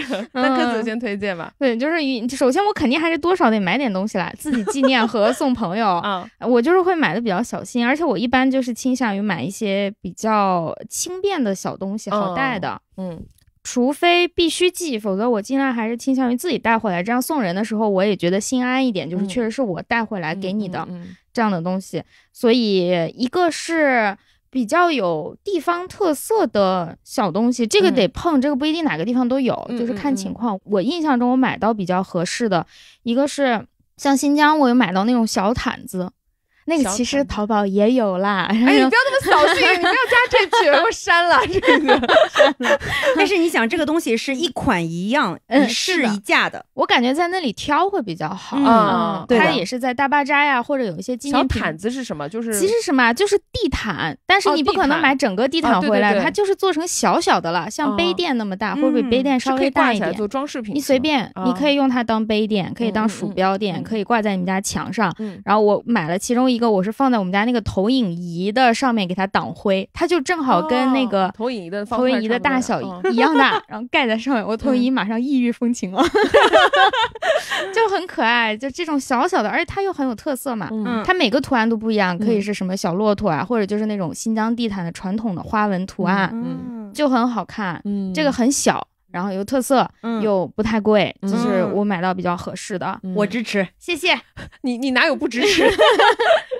然后还有一个有印象的，就是去内蒙的时候，我们是去了一个当地的纪念品商，就这个纪念品商店不是专门面向游客的纪念品，嗯。而是本地人你需要买一些小工艺品呀、小礼物送人啊这种东西的那个店里头。嗯。然后他们很有意思，他有很多东西是，比方说他婚礼上要用到的，嗯，啊，但其实我们也用不到，所以我没买，但是很好看。什么东西是婚礼上会比？如说爸爸嗯妈妈胸前戴的那个花儿。那个花儿它会做成那种民族哦图案，然后上面写着爸爸妈妈这样哦啊，你每个人可以挂。然后还有一些听他这样说，我都有点想买 了。这个我觉得可以买回去，然后嗯拍全家福的时候用上。哎，有道理啊，对吧对对天哪，你这一句话让他吓到。后悔了，后悔了。总有理由把你拿下。然后还有一些，比如说小碗那种嗯木头做的啊，或者银做的，那银嗯。不是特别高级的银，嗯就很普通的，你可以在家里用。然后我最后看上了一副那个蒙古象棋，嗯。它其实规则就是国际象棋的规则，但是这是他们民族特色的东西。它那个棋盘是毛毡做的，嗯白毛毡做，然后那毛毡可以卷起来，嗯打开以后里面是棋子，棋子就是什么马呀、车呀，其实就是那些子，但是全部都是内蒙特色的图案。然后那个王就是成吉思汗坐在那里 我一打开我笑死，成吉思汗坐那儿 看着我，哎，这个蛮有特色的，嗯，就很可爱。然后我还嗯买了一副小的，就是送给朋友，我自己嗯留了一副，给他送了一副。就也很轻，然后这又很有特色。嗯，我特意没有去淘宝搜到底有没有这个东西，我觉得有没有的不重要了，我肯定要在那儿买。你搜它干啥？你这是买什么东西都离不开淘宝。我再也不这样了。你是入股了淘宝吗？马云是分你股份吗？你你要想平常咱在嗯大城市里面的这些购物习惯，嗯怎么着都是不可能刷到这个蒙古旗，不可能刷啊到这种新疆地毯、新疆杯垫的。对所以我觉得淘宝上面有链接这个事情，它也许嗯对于我来说，它的功能性在于我当时没有买到足够的伴手礼，我回来补哦货。补价哦但是它不会影响我在当时当下去想要以购买的这么形式去来封存我这一份记忆，去记录这个瞬间。说得好说得好，一下子说服了所有要在淘宝上买纪念品的人。有一个东西确实买不到，就是嗯想到推荐，但那个东西太可遇不可求了。是就是我去奇遇的时候，日本奇遇它有铁道博物馆，嗯，然后呢，这个东西是什么？是奇遇铁道博物馆里面的火车便当的袋子，就它根本也不是你普通去买的东西。啊就它铁道博物馆里的小餐厅，它就专门提供日本铁路上卖的那种火车便当。嗯，我只是好奇吃了一下，吃完之后我发现它用来装便当的那个袋是一个，其实是化纤的袋子啦，就乍一看是一个布袋，嗯，就是不是很高级的东西，甚至不是卖的，它只是配在这个便当外面，但是非常好看，是可以买的吗？还是说你其实吃完可以把它拿走啊？可以拿走。它就是这样一套，就相当于塑料袋，只是人家是环保的，外面套着一个哦化纤做的小布袋子，上面印着铁道博物馆的 logo，然后画了一辆小火车。哦我觉得非常好被看你一，说，我就觉得好值得。对啊，哎，但这种东西觉也很容易被嗯种草。我也其实很容易被种草。像这种东西，你肯定淘宝你买不到，它不会有人专门来卖这个火车便当的袋子外面这个东西，它也是个非卖品，嗯它只是个包装袋。说到非卖品，我这次哦，我其实是忘记拿了。就是你嗯记不记得有一次我们去努比亚人家吃饭那天晚上，对的，我看中了那主人要给你什么？那只猫吗？不是不是，是我看中了他们家的勺子，就是、哦 其实他们家就是那个锡的勺子。嗯为什么我看中那个勺子？当时我看中那个勺子，其实那勺子就跟我们中国用那个勺子一模一样，嗯但是它上面就多了一句阿拉伯文，叫做我特地问了一下我们向导，那上面写的是埃及欢迎你啊啊、是一句阿拉伯文印在了勺子上。然后我就问他，我说这在哪儿买？小半就跟我说，他说哦，这个就是普通小商品市场，就是他们嗯外面就能买。他说你不用买，他说让主人送一把给你，就是他们家正常用的。后来我嗯忘了这个事儿，因为我当时就觉得这个勺子很有，嗯，这个很好，哎对吧？嗯对，就是你刚刚说的那种非卖品。对对对，它就是日常生活里会出现的东对西。，但是你又嗯觉得跟你自己日常生活的那个场景又不太一样的东西，你就很想拿回来，而且你要用也可以用啊，也没有问题的。就像你说那个火车便当的那个袋子，嗯你要用也没有问题的。但是它很特别，就是它跟你日常用的东西又不太一样。嗯，而且不花钱更香了。也不，我也可以花钱。对，这样说，我下次去的时候，我一定要去要一把那个勺子回来。就是嗯他们的生活里会出现的东西。你回来作为一个游客，其实是很难再接触到这个东西对。而且你说我嗯不会因为特地买一把勺子再去逛他们的那个市场，市场这个我可能，嗯而且他们也不会想到游客会喜欢这种东西嘛，这个就是他们嗯每家每户都用的东西。嗯对我觉得这就相当于老外来咱们中国，比如说谁家做客，然后看到我们一个上面雕花的一个碗碗，就觉得哎这个很有中国特色，个，对吧？我回去就能用到，就是差不多就是这么个意思。对，嗯嗯，但这种东西我觉得反正得碰吧，对得一定你都找得到。对，嗯，还是要有颗充满物欲的心，哎，说的对，我改。对，不然的话，淘宝就就是会让你丧失很多好奇心。对，嗯我个人一个习惯就是走到哪儿我都会去买书签。哦嗯，就是这个是跟个人习惯有关的。有些人喜欢买冰箱贴，有些人喜欢买邮票，对吧但是我就是喜欢买书签。嗯然后这个玩意儿呢，我觉得你没有办法去推荐说，哎呀，谁谁谁家的书签做的最好，哪家哪家嗯书签做的最好。但是我的推荐的点在于，如果你有一个你非常持之以恒，并且一直都很重要的贯穿你生活、贯穿你生命的一个嗯爱好，嗯你能够。把它跟当地的就是你的一个旅途给串接起来，我觉得这个就是我推荐你去做的这个事情。嗯那对于有些人而言是冰箱贴，对于有些人而言是邮票，嗯那对于有些人而言是数码的照片，对吧？他喜欢到哪儿就拍一个，就我我看到过有些人就是喜欢到哪儿就拍一个当地的那个在正马路当中咔一张，喜欢拍各个地方的红绿灯，就是。他就喜欢哦。收集这样子的一个东西，那嗯。对于我而言，就是喜欢去买书签，嗯。对，这个是我推荐的一种旅行当中的购物方式，就是嗯。你去把你生命当中非常重要的一个爱好跟你目的地去嗯。串接起来。其实有一点像，就是像收藏的那种哦概念。对每到一个地方，我需要收藏这个地方的某一个东西，可以是冰箱贴，也可以是什么，对的，比如说书签啊什么的。对嗯，如果不想花钱，或者说如果不想额外花钱的话，可以收集门票，把它裱起来也非常哦漂亮。对，嗯是的。对嗯嗯，我有一个推荐的东西是帆布袋可是我讲太太多了吗？啊，帆布袋用不用不对下，我跟说你看，你们又陷入到功能主义里。我就问你，你书签能用掉多少？书签是真能用，但是我跟你说，我以前看到书签的时候，我就觉得说我又不读书，我要这书签干啥？哦哦哦，那因为也是现在都电子化对，就是电子化了。第二是我 用书签，我觉得很麻烦，就是读书的时候书签还得放到旁边，但我合上我就想，哎呀，我书签忘了插，就是对，就是每个人的功能性不一样。就是我为什么会买帆布袋，因为我觉得帆布袋就像 T 恤一样，它是很多文化的属性在上面的。嗯，我其实不是最狂热的，我有个朋友是真的是帆布的爱好者，就是他到任何地方，只要有具备任何文化属性，比如音乐节也好，市集也好，各种地方的这种图腾性的标志的。还有各个厂牌的、各个出版社的，就是他会收集各种各样的这个帆布袋。但我我有的时候也会，我会遇到就是比如说美术馆，嗯嗯，各个美术馆、博物馆他们会出这种帆布袋，因为我觉得其实也挺好嗯用的。帆布袋这东西又轻，嗯然后你真的买回来，你也可以彰显身份。对你也可我 就可以用起来。我今天背的这个是我有一次去看金世佳的那个话剧，哦，呃，卡里古拉嗯是叫卡里古拉吗？我忘记了名字。你看看，你看完了白看我。也我也忘记了，是应该叫卡里古拉，好不要骂我。然后对，当然他们剧团出的这个帆布袋，当时觉得哎挺有意思的，我就买了。然后我前两天用的是那个看理想有是看理想吗？哎呀，糟糕，是看应该是看理想，推荐了两个 记不清的东西了。我忘对，应该是看理啊，不对，sorry，我收回，不是看理想，对不起，道长是单向街，哦哦哦哦，对，单向街出的一个文学系列的，它是一个日本的一个诗人，他用了一句诗，然后是一个绿色的，就是春天的时候很适合背的一个。哦一个帆布袋，对我就很喜欢买这种东西。嗯还有一种，比如说我每年不是去西班牙去参加他们的艺术节嘛，嗯他们艺术节是每年会请一位新的设计师去设计他们今年的 logo、T 恤和帆布袋，然后我每一年都会买一个新的回来。差不多是这样子，我我我买的比较多的就是冰箱贴，我肯定是会买的。第二个嗯就是帆布袋，我家有一大堆帆布袋。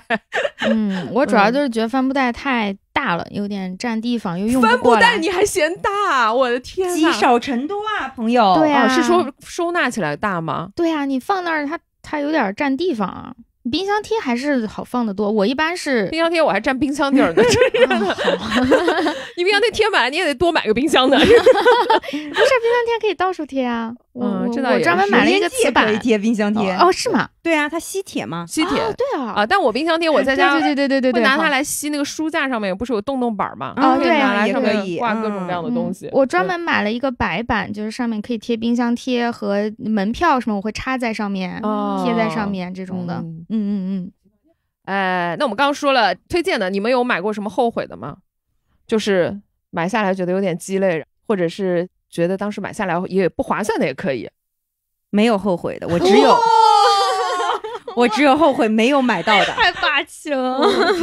我要给你们看一个东西，来来来，这个到时候放里面。哦，我知对道，你去印度买的吗？还是对对我去印度乌代布尔买的细密画，但是我跟你一开始说哦细密画不是都画在丝上面吗？嗯然后你看它这一个是画在一个就是已经有点破旧的这个经文纸上面了。嗯我们用翻译软件给它稍微扫了一下，发现它实际上是像那个印度的这种宗教故事的一个小篇章、一个小片段，它没有什么具体的故事。这是那个智慧神对吧？这个是 Ganesh，就是嗯象头神、象面神，然后这个是他的小伙伴一只小老鼠。这个东西是我买回家的，现在在我家的那个书里面，我都没有舍得去裱它，因为我怕它一裱就是比较脆弱嘛，会坏。哦对，然后我为什么说我会后悔没有买呢？因为跟他同样的还有一张是。佳丽女神，佳丽女神就是呃毗湿婆的老婆，然后她有一张非常有名的画，是踩着那个毗湿奴，胸口挂着非常多的骷髅头，就是她杀掉的恶魔，然后手里拿着好几把刀，就是她三头六臂这样的一个形象。我那张没有买，是因为我那天没有钱了，完全就没带就够，完全没钱，就是他卡也刷不了，然后卢比卢比也没了，美金美金也没了，我最后一塌瓜子掏出来一百一十二块六毛三毛八啥的，我就我就 That's all。就是实在买不了了，你要么就可以便宜点卖给我，然后但是那个老板也不卖嘛，那、嗯，对吧？就是我觉得讨价还价，多少钱啊？他卖多少？这张一万零两百嘛，那你另一张估计也差不多。你才一百多买人家一万多的呀，你掏出来就一百多块啊？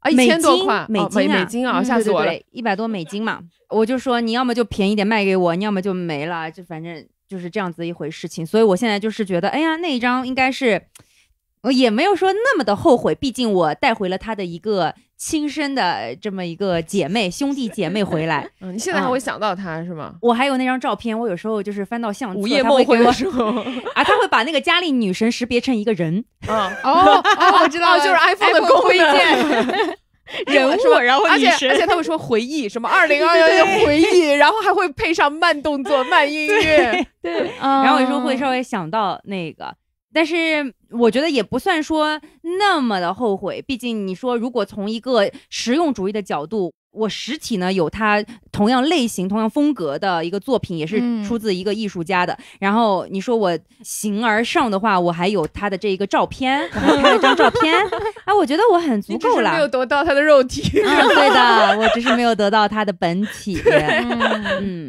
嗯，所以就是后悔那些没买到的东西。对的嗯。但是具体来说我没有，因为我在旅行当中快准狠。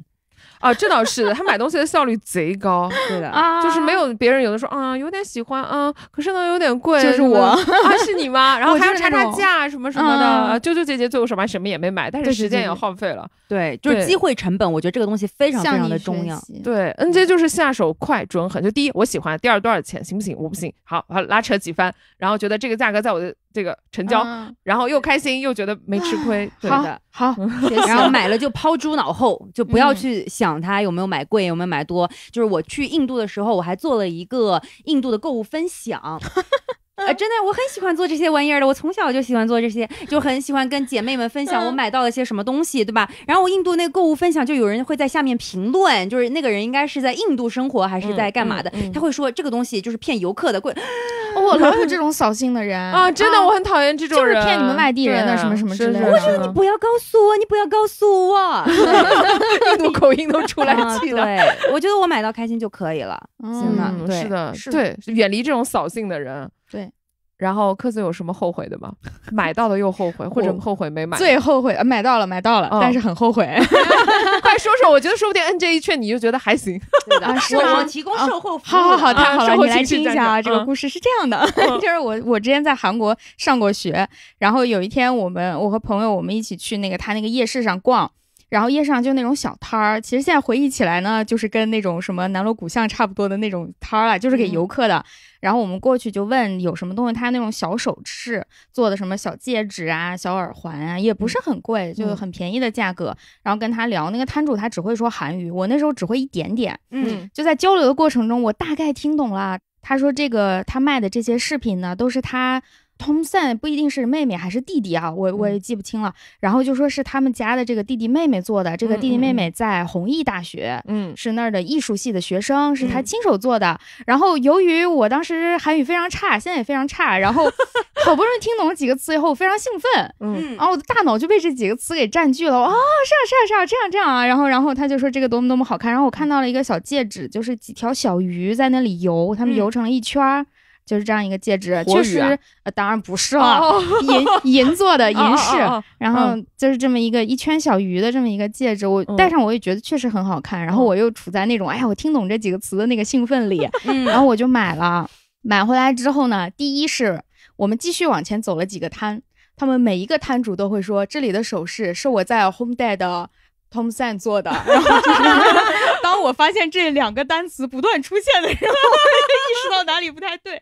这是第一个，我当时就有一点后悔了，但是我就觉得，哎，算了，买都买了，而且也挺好看的，也不是特别贵，它毕竟是一个确实是银的。嗯啊，因为我戴上不过敏了，嗯这我可以自己鉴定，嗯所以啊，我说行好，嗯，算了吧。然后回来以后，直到三年前吧，就是有一天我去上厕所的时候，我为了洗手，我先把它摘下来了，嗯放到我的兜里，然后我嗯接着上厕所，它就掉下去了，嗯它就掉入了出水系统里，就彻底消失了。然后我嗯很伤心，我觉得这个东西我戴了好多年了，嗯哎，我就想。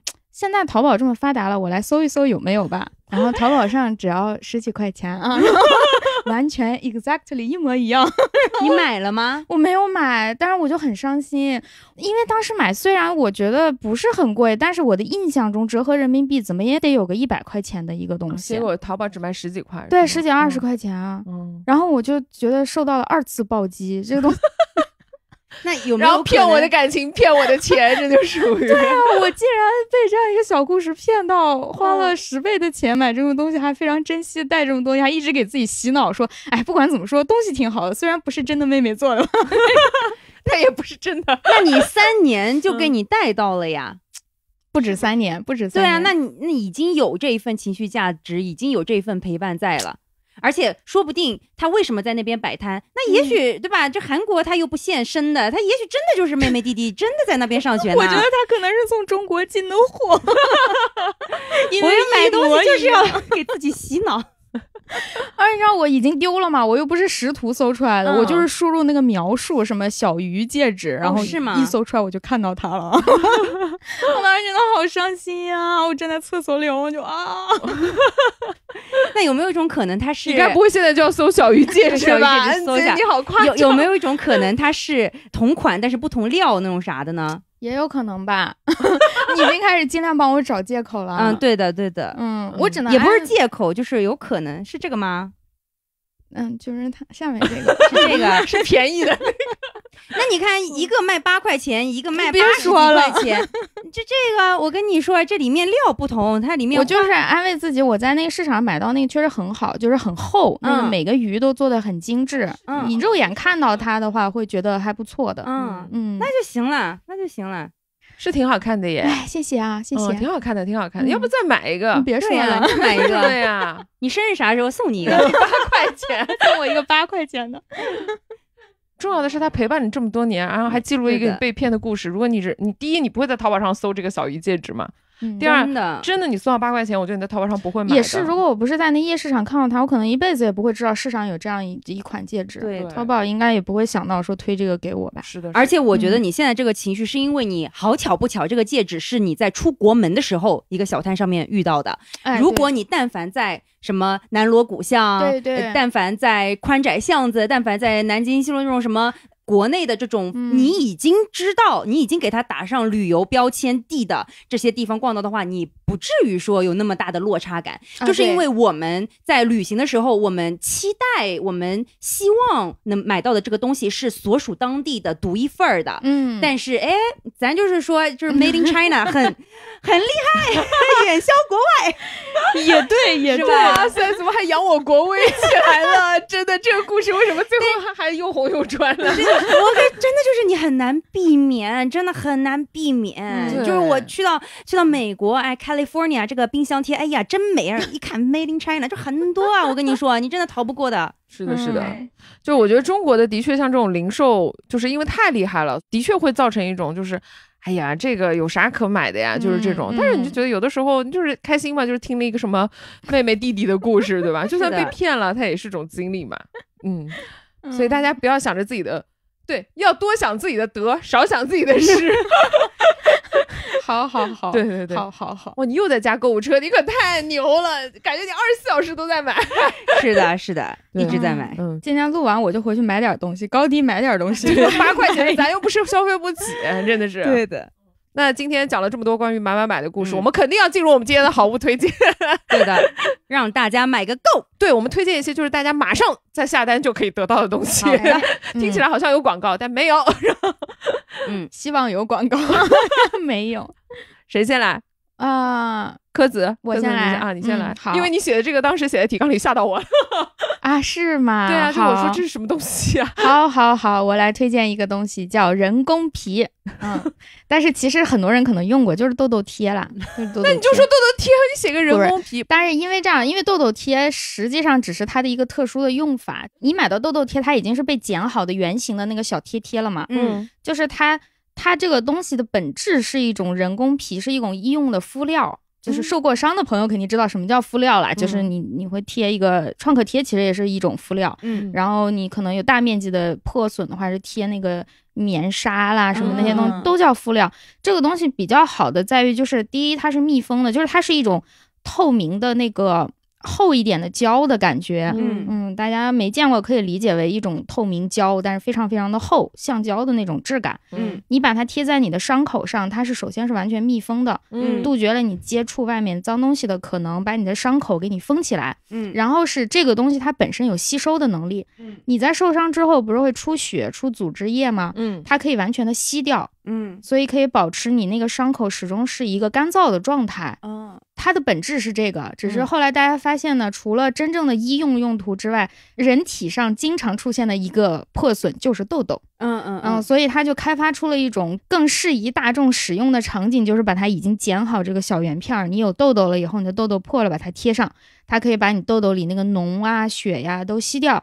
你换几次之后，这个就长平了。因为我是特别容易留疤的一个人，嗯所以我刚开始用了以后，一个很好的感觉就是它不留疤。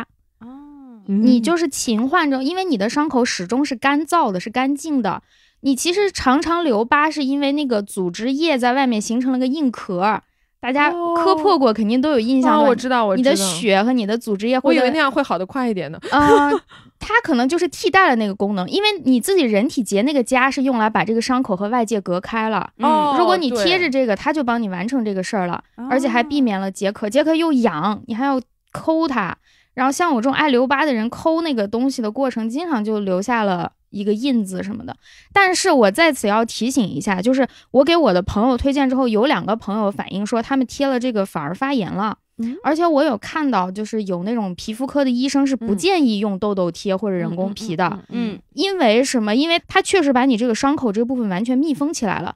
所以如果你这个里头一旦已经脏了，嗯，它反而把这个脏东西对给哦蒙进去了。我自己的用法是，如果我要用它的话，我先用酒精把我那个伤口要完全清理干净。干净，嗯嗯对痘痘也好，或者我之前有有烫伤啊、摔伤啊，我就要完全把那个伤口清理的特别干净，然后贴。而且你最好是一个小时就换一次，不要心疼它，哦，就狂换、疯狂换。它稍微吸收了一点，你就赶快换掉。晚上睡觉没办法，可以贴一晚上，嗯第二天你赶快起来就把它换掉，嗯，就是要勤换，然后要干净。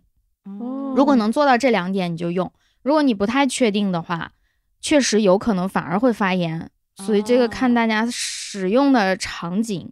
我自己的经验是真的很好用。嗯我之前就是如果有一个痘痘，我最害怕的不是痘痘本身，是那个痘痘之后破了，我没有处理好嗯的话，它最后就变成了一个痣在我脸上了。哦，就它就是疤，对，就是一个嗯疤，然后嗯色素沉淀了，最后就像一个痣一样。嗯，这是我长痘痘最糟心的事儿。所以它是你痘痘挤掉之后吗？还是说不挤就是贴上去也可以？不挤的话白贴，啊，啊白不及你的痘痘还没发出来对，它就等于没有发，没有它伤口。其实没有催熟的这个功能，就有些人痘痘不是要先催熟让它长出来吗？它没有这个功能，它哦其实本质上就是一个医用敷料，哦，叫它痘痘贴，只是因因为你的痘痘会变成一个伤口，它是用来保护和促进这个伤口愈合的。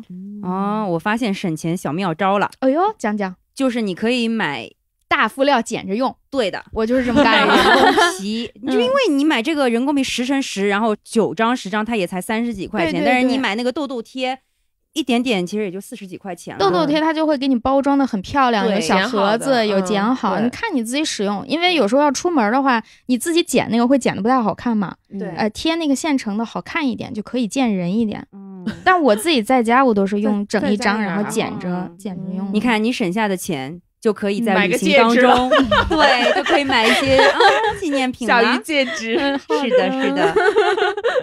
你高低这个戒指都省出来了，哎，我推荐一个，是我今年在西班牙的时候被我一个中国的朋友种草的，是一个筋膜枪。然后因为我以前用过很多类似的筋膜枪，但它最大的问题是筋膜枪，你给我的感觉就是隔靴搔痒，就是它始终没有办法进入到你的那个筋膜肌肉层，就是它人家都要筋膜枪了还不够。不够，就是就是因为我们是长时间，比如说训练或者是健身也好，还是嗯练舞也好，就是那个肌肉的疲劳程度是很高很高的。然后我嗯我是有一段时间是必须通过人工拉伸去缓解肌肉的，因为只有人工才能使上那个劲，你知道吗？嗯就是嗯正常的其他部分的按摩放松，我都觉得不得劲儿不得劲，就 是总觉得只是在皮上面做做功夫，但是要嗯你得拉到真的要把那个肌肉给疏松开。然后这个是我当时是我一个朋友他带去了西班牙，因为那时候我们在西班牙上课，每天都超级累。他说他带个筋膜枪，我想啊，筋膜枪，因为大家现在很流行买那种小小的，嗯就是很小很小的筋膜。我以为筋膜枪就那么大，就没有那个那个有点大，那个小的我都觉得力道不够。哦，对，所以就是我要推荐的大家的这个，而且是这个品牌的，但是这个品牌没有给我们钱，就现在给他们一个没关系，我机会。我我已经买了，没关系，就大家买吧，就是叫做油品，这名字好奇怪，叫油油品，油品，淘宝自己的优选是不是叫油品啊？我我不知道，反正它叫油品，就是很有品味的那个油品 Cook，对。嗯然后它的这个筋膜枪要去买那种，就当然随便你们是愿意买加热的还是不加热，它有一个热敷的功能。哇塞，对对，冬天如果你打的话，或者是放松肌肉的时候，它会有那种自动加热功能。但这个我用的很少，嗯，它也是大的，大概有这么大，嗯就是打起来是有这么大。A 四纸，今天 4 4纸的作为 对我们的，疯狂被 Q，对，所以它不是那种小的便携的。嗯然后第二是它的力道，就是它的每一档，以前我觉得那些档位都是很很微虚的很虚的，它就是嗯在你皮上抖一抖这样子，嗯然后实际上打不着。但这个它是真的能帮你有的那个频道的那个力道上，真的能帮你戳爆戳爆你的肌肉，就是啊我在家里会那会很打到嗷嗷叫，就 是拿枪打自己的时候真的是嗷嗷叫。对，但是基本上我用其他的那个筋膜枪，所谓的便携小的，对我来说就是隔靴搔痒，就是完全没有感觉，打着就麻木了，你知道吗？嗯对，但这款真的很好用，而且我周围很多，就是我们后来舞团很多练舞的同学都买了这个，嗯嗯，然后哦甚至我们买了还带给我们西班牙的同学和老师，哇塞，爱死你，对，因为他们就觉得哇，这东西好神奇，因为是我的老师，就是一级，他带了他带了这个筋膜枪带去西班牙，因为他那时候去比赛，嗯，然后他们西班牙的同班同学就说。这也太舒服了吧！就是下了课以后，大家都在互相打，你知道吗？嗯 然后第二次他去西班牙的时候，就买了几个，然后带到国外去，然后他们就觉得这个东西很适合，比如说你有长期的就是训练呐、嗯健身啊，或者是像我们长时间练舞啊，这些运动有运动习惯的，并且你们会觉得肌肉酸痛很受不了的这种，嗯嗯非常非常推荐这款筋膜枪。嗯哇，看上去很不错呢。但是我家已经有一个很大的了，所以我就不添加购物车了。不容易遇到一个你看完之后不打算买的东西。当然不是因为之前买太多了。来，我来给大家推荐一个，嗯，但是你刚刚说下单马上就能得到的，这个也许，啊得不到吗？嗯，这个得要你来南京哦。哦啊，我要推荐南京金哥私房菜，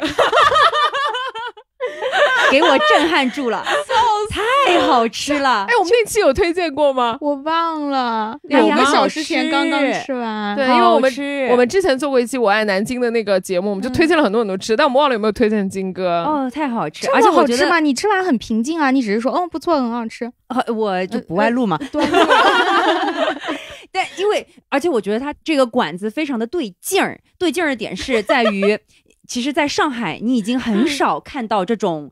这么接地气，但是又很菜品又做的很足量，然后不给你耍花头，然后给你很实在的味道也好，分量也好，还是菜这个组合也好，给你这么多花式花样的，我觉得已经以及一本字典式的菜单。对呀、这太 我觉得很少，真的很少。你看，每个来南京的人都得震撼一把吧？真是我都听愣住了，它不就是一个家常菜馆？哎呀，你看你这是身在福中不知福呀！天哪，它是很好吃，我会推荐你们吃，但我没有想到你会在节目里推荐这个。那我也是，就两手都要硬了。我这边是推荐一个就是体验为上的东西，嗯我还有一个是推荐我稍等一下，我们先说完这个体验的。嗯今天吃完，你觉得哪个菜最好吃啊？我最喜欢椒盐鸭头，哦在南京做鸭不容易。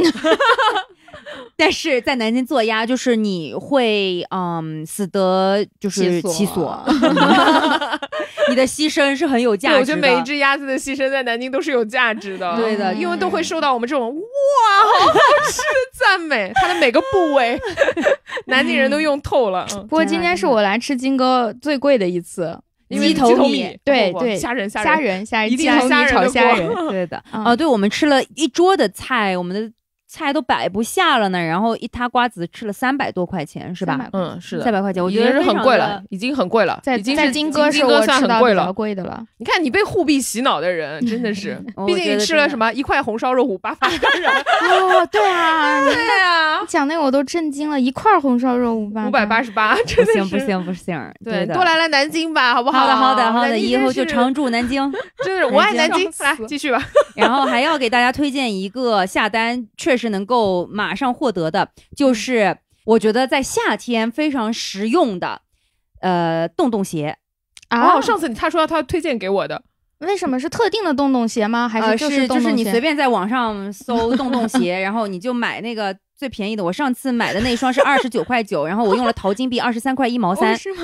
我穿去埃及，我觉得真的超级好穿，因为就是首先它这个洞洞鞋它稍微有一点点的增高，嗯，那这个不仅说，哎这哎哎，你这个啊一米六八的。sorry，露出了不就是它不。仅在这个身高上面能够对我们小个子女生有一定的加持，它嗯更重要的一点是埃及的这个路啊，其实它不平，然后有一些哦像你去到的巴扎，它不平就算了，它还有一些就是凹凸的地方，它也许就是人家泼了那个脏水就没有来得及下，你知道吗？就是有些坑洼的地方，你崴一脚是一回事儿，但你崴一脚踩到了很黏黏的东西，你是另一回事儿啊，所以你不得要给自己稍微上个一两厘米嘛，就是。对吧？就是稍微有个安全距离，这个是一点我。们路易十四穿高跟鞋的原理出来了是吗？然后第二个是，呃我尤其推荐，如果你夏天要去逛那些地方的话，呃，去沙漠什么的，因为第二点就是大家都知道埃及很热，所以下意识的会想要去穿拖鞋，但是拖鞋很容易晒出那个印子。嗯你回来也许就是埃及脚啦，嗯 就是，所以你洞洞鞋的话，其实它是一个保护的概念，就不会让你的脚晒出那么多的印子。嗯然后你印象当中的，哎呀，这会不会晒出洞啊？我觉得不会啊，反正我是没晒出来，对吧？哎，但我觉得有个问题，洞洞鞋跟脚嘛，跟脚非常跟脚。我以前买的洞鞋不太跟脚，所以我都没有，后来就没有再买了。哦、我我反正我那双挺跟脚的，哦我觉得挺好穿的，而且最主要是它非常的轻，嗯就是嗯有一些洞洞鞋，我觉得会有点硬，有点重，但是那双嗯真的非常非常非常的所以它轻。只要二十三块是吗？对的，就 二十三块一毛三，就是非常非常的便宜，很好。这是不是得预呀？你你能对我觉得你的那个店告诉我们吗？对，得遇天猫超市？啊，天猫超市啊，对的，然后用淘金币就可以抵一些钱。猫超买爆。我真的怀疑你们俩是有入股淘宝，没有没有没有嗯我们不配啊，嗯 我也想啊。还有吗？还有啊，还还有什么哎呀，你怎么让我推荐那么多啊？嗯，下下面那一个也不是所有人都能够用得上的，但是是推荐给所有喜欢贴假睫毛的朋友们，啊你们可以可以去搜一下酷吉宝宝泰式 A 款，酷吉宝宝，哪根酷哪个鸡？就是酷毙了的酷，啊然后吉祥的吉，嗯，宝宝，然后它的款式叫做泰式 A 嗯。款。你现在贴了吗？今天没贴，嗯，今天起晚了，但是那款超级自然，我推荐每一个喜欢贴假睫毛的都去尝试一下。嗯。啊、而且可以走拼多多，拼多多上面是二十二块钱一副就可以买到了。淘宝二十五，对的，嗯你看这三块钱剩下了吧？多省几个又能省出一个小鱼戒指了。哎呀，救命啊！是这款吗？你要买分段的，啊买分段款，泰式哦 A 款。好的好的，不会贴假睫毛。我刚想说，我看了我也不会贴，啊，你不贴呀？我不贴啊，哦我我是天然的。好浓啊。I woke up like this. 那我们今天就是聊了这么多关于旅行中买买买的故事，不知道大家，大家也可以在评论区告诉我们，就是你们在旅行中买的，比如说你们后悔的东西啊，或者是你们觉得一定要买的东西。推荐的对对嗯对对对，我乐意去翻这些评论区大家的留言，看买到有什么好东西啊。对，大家互相推荐一下，下次我们去到哪里哪里旅游的时候，就可以想到，哎，有人推荐过要买这个。，对，或者大家推荐一下，我下次就能够做测评了。一个不知名博主开始做什么旅游产品测评博主，哎，这个赛道非常的好，好像还没有人，哦好像还没有人做过。对啊，是吗？对，好的，好的，你考虑一下。对以，嗯，嗯，好，那这样我们最后我们节目的那个片尾曲，要不 NJ 推荐一下吧？我推荐 JJ 的不潮不用花钱，High Fashion，Peace out，不要到处抠抠，不，什么什么什么扣什么潮流不用抠。对对对对，不要到处抠抠，就是该花钱的时候就花钱。好好好好，今天我就听着这首歌，高低买它一点东西，就买。买到的是你的体验，又哑了。该花钱的时候就花钱，买到的都是你的体验。我觉得这段要把它剪进去。哎呀，救命啊！好的，好的，好的。哇，这次聊的好开心哦，我觉得线下聊天好开心啊。好，是的，那我们今天的节目就到这里了，希望大家喜欢我们这期的节目。然后大家想听什么也可以留言给我们，嗯然后我们看看下个月要聊什么。好的，嗯，然后那我们这期就先到这里啦，跟大家说拜拜，拜拜跟大家说再见。不要到处抠抠，哎呀，救命！拜拜拜拜。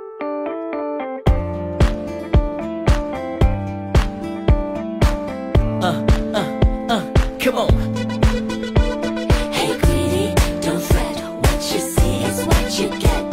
You name it, I have it. What you see is what you get. 左左左左，边左就右左手，生活就不用想太多。蹦蹦蹦蹦，心动睁开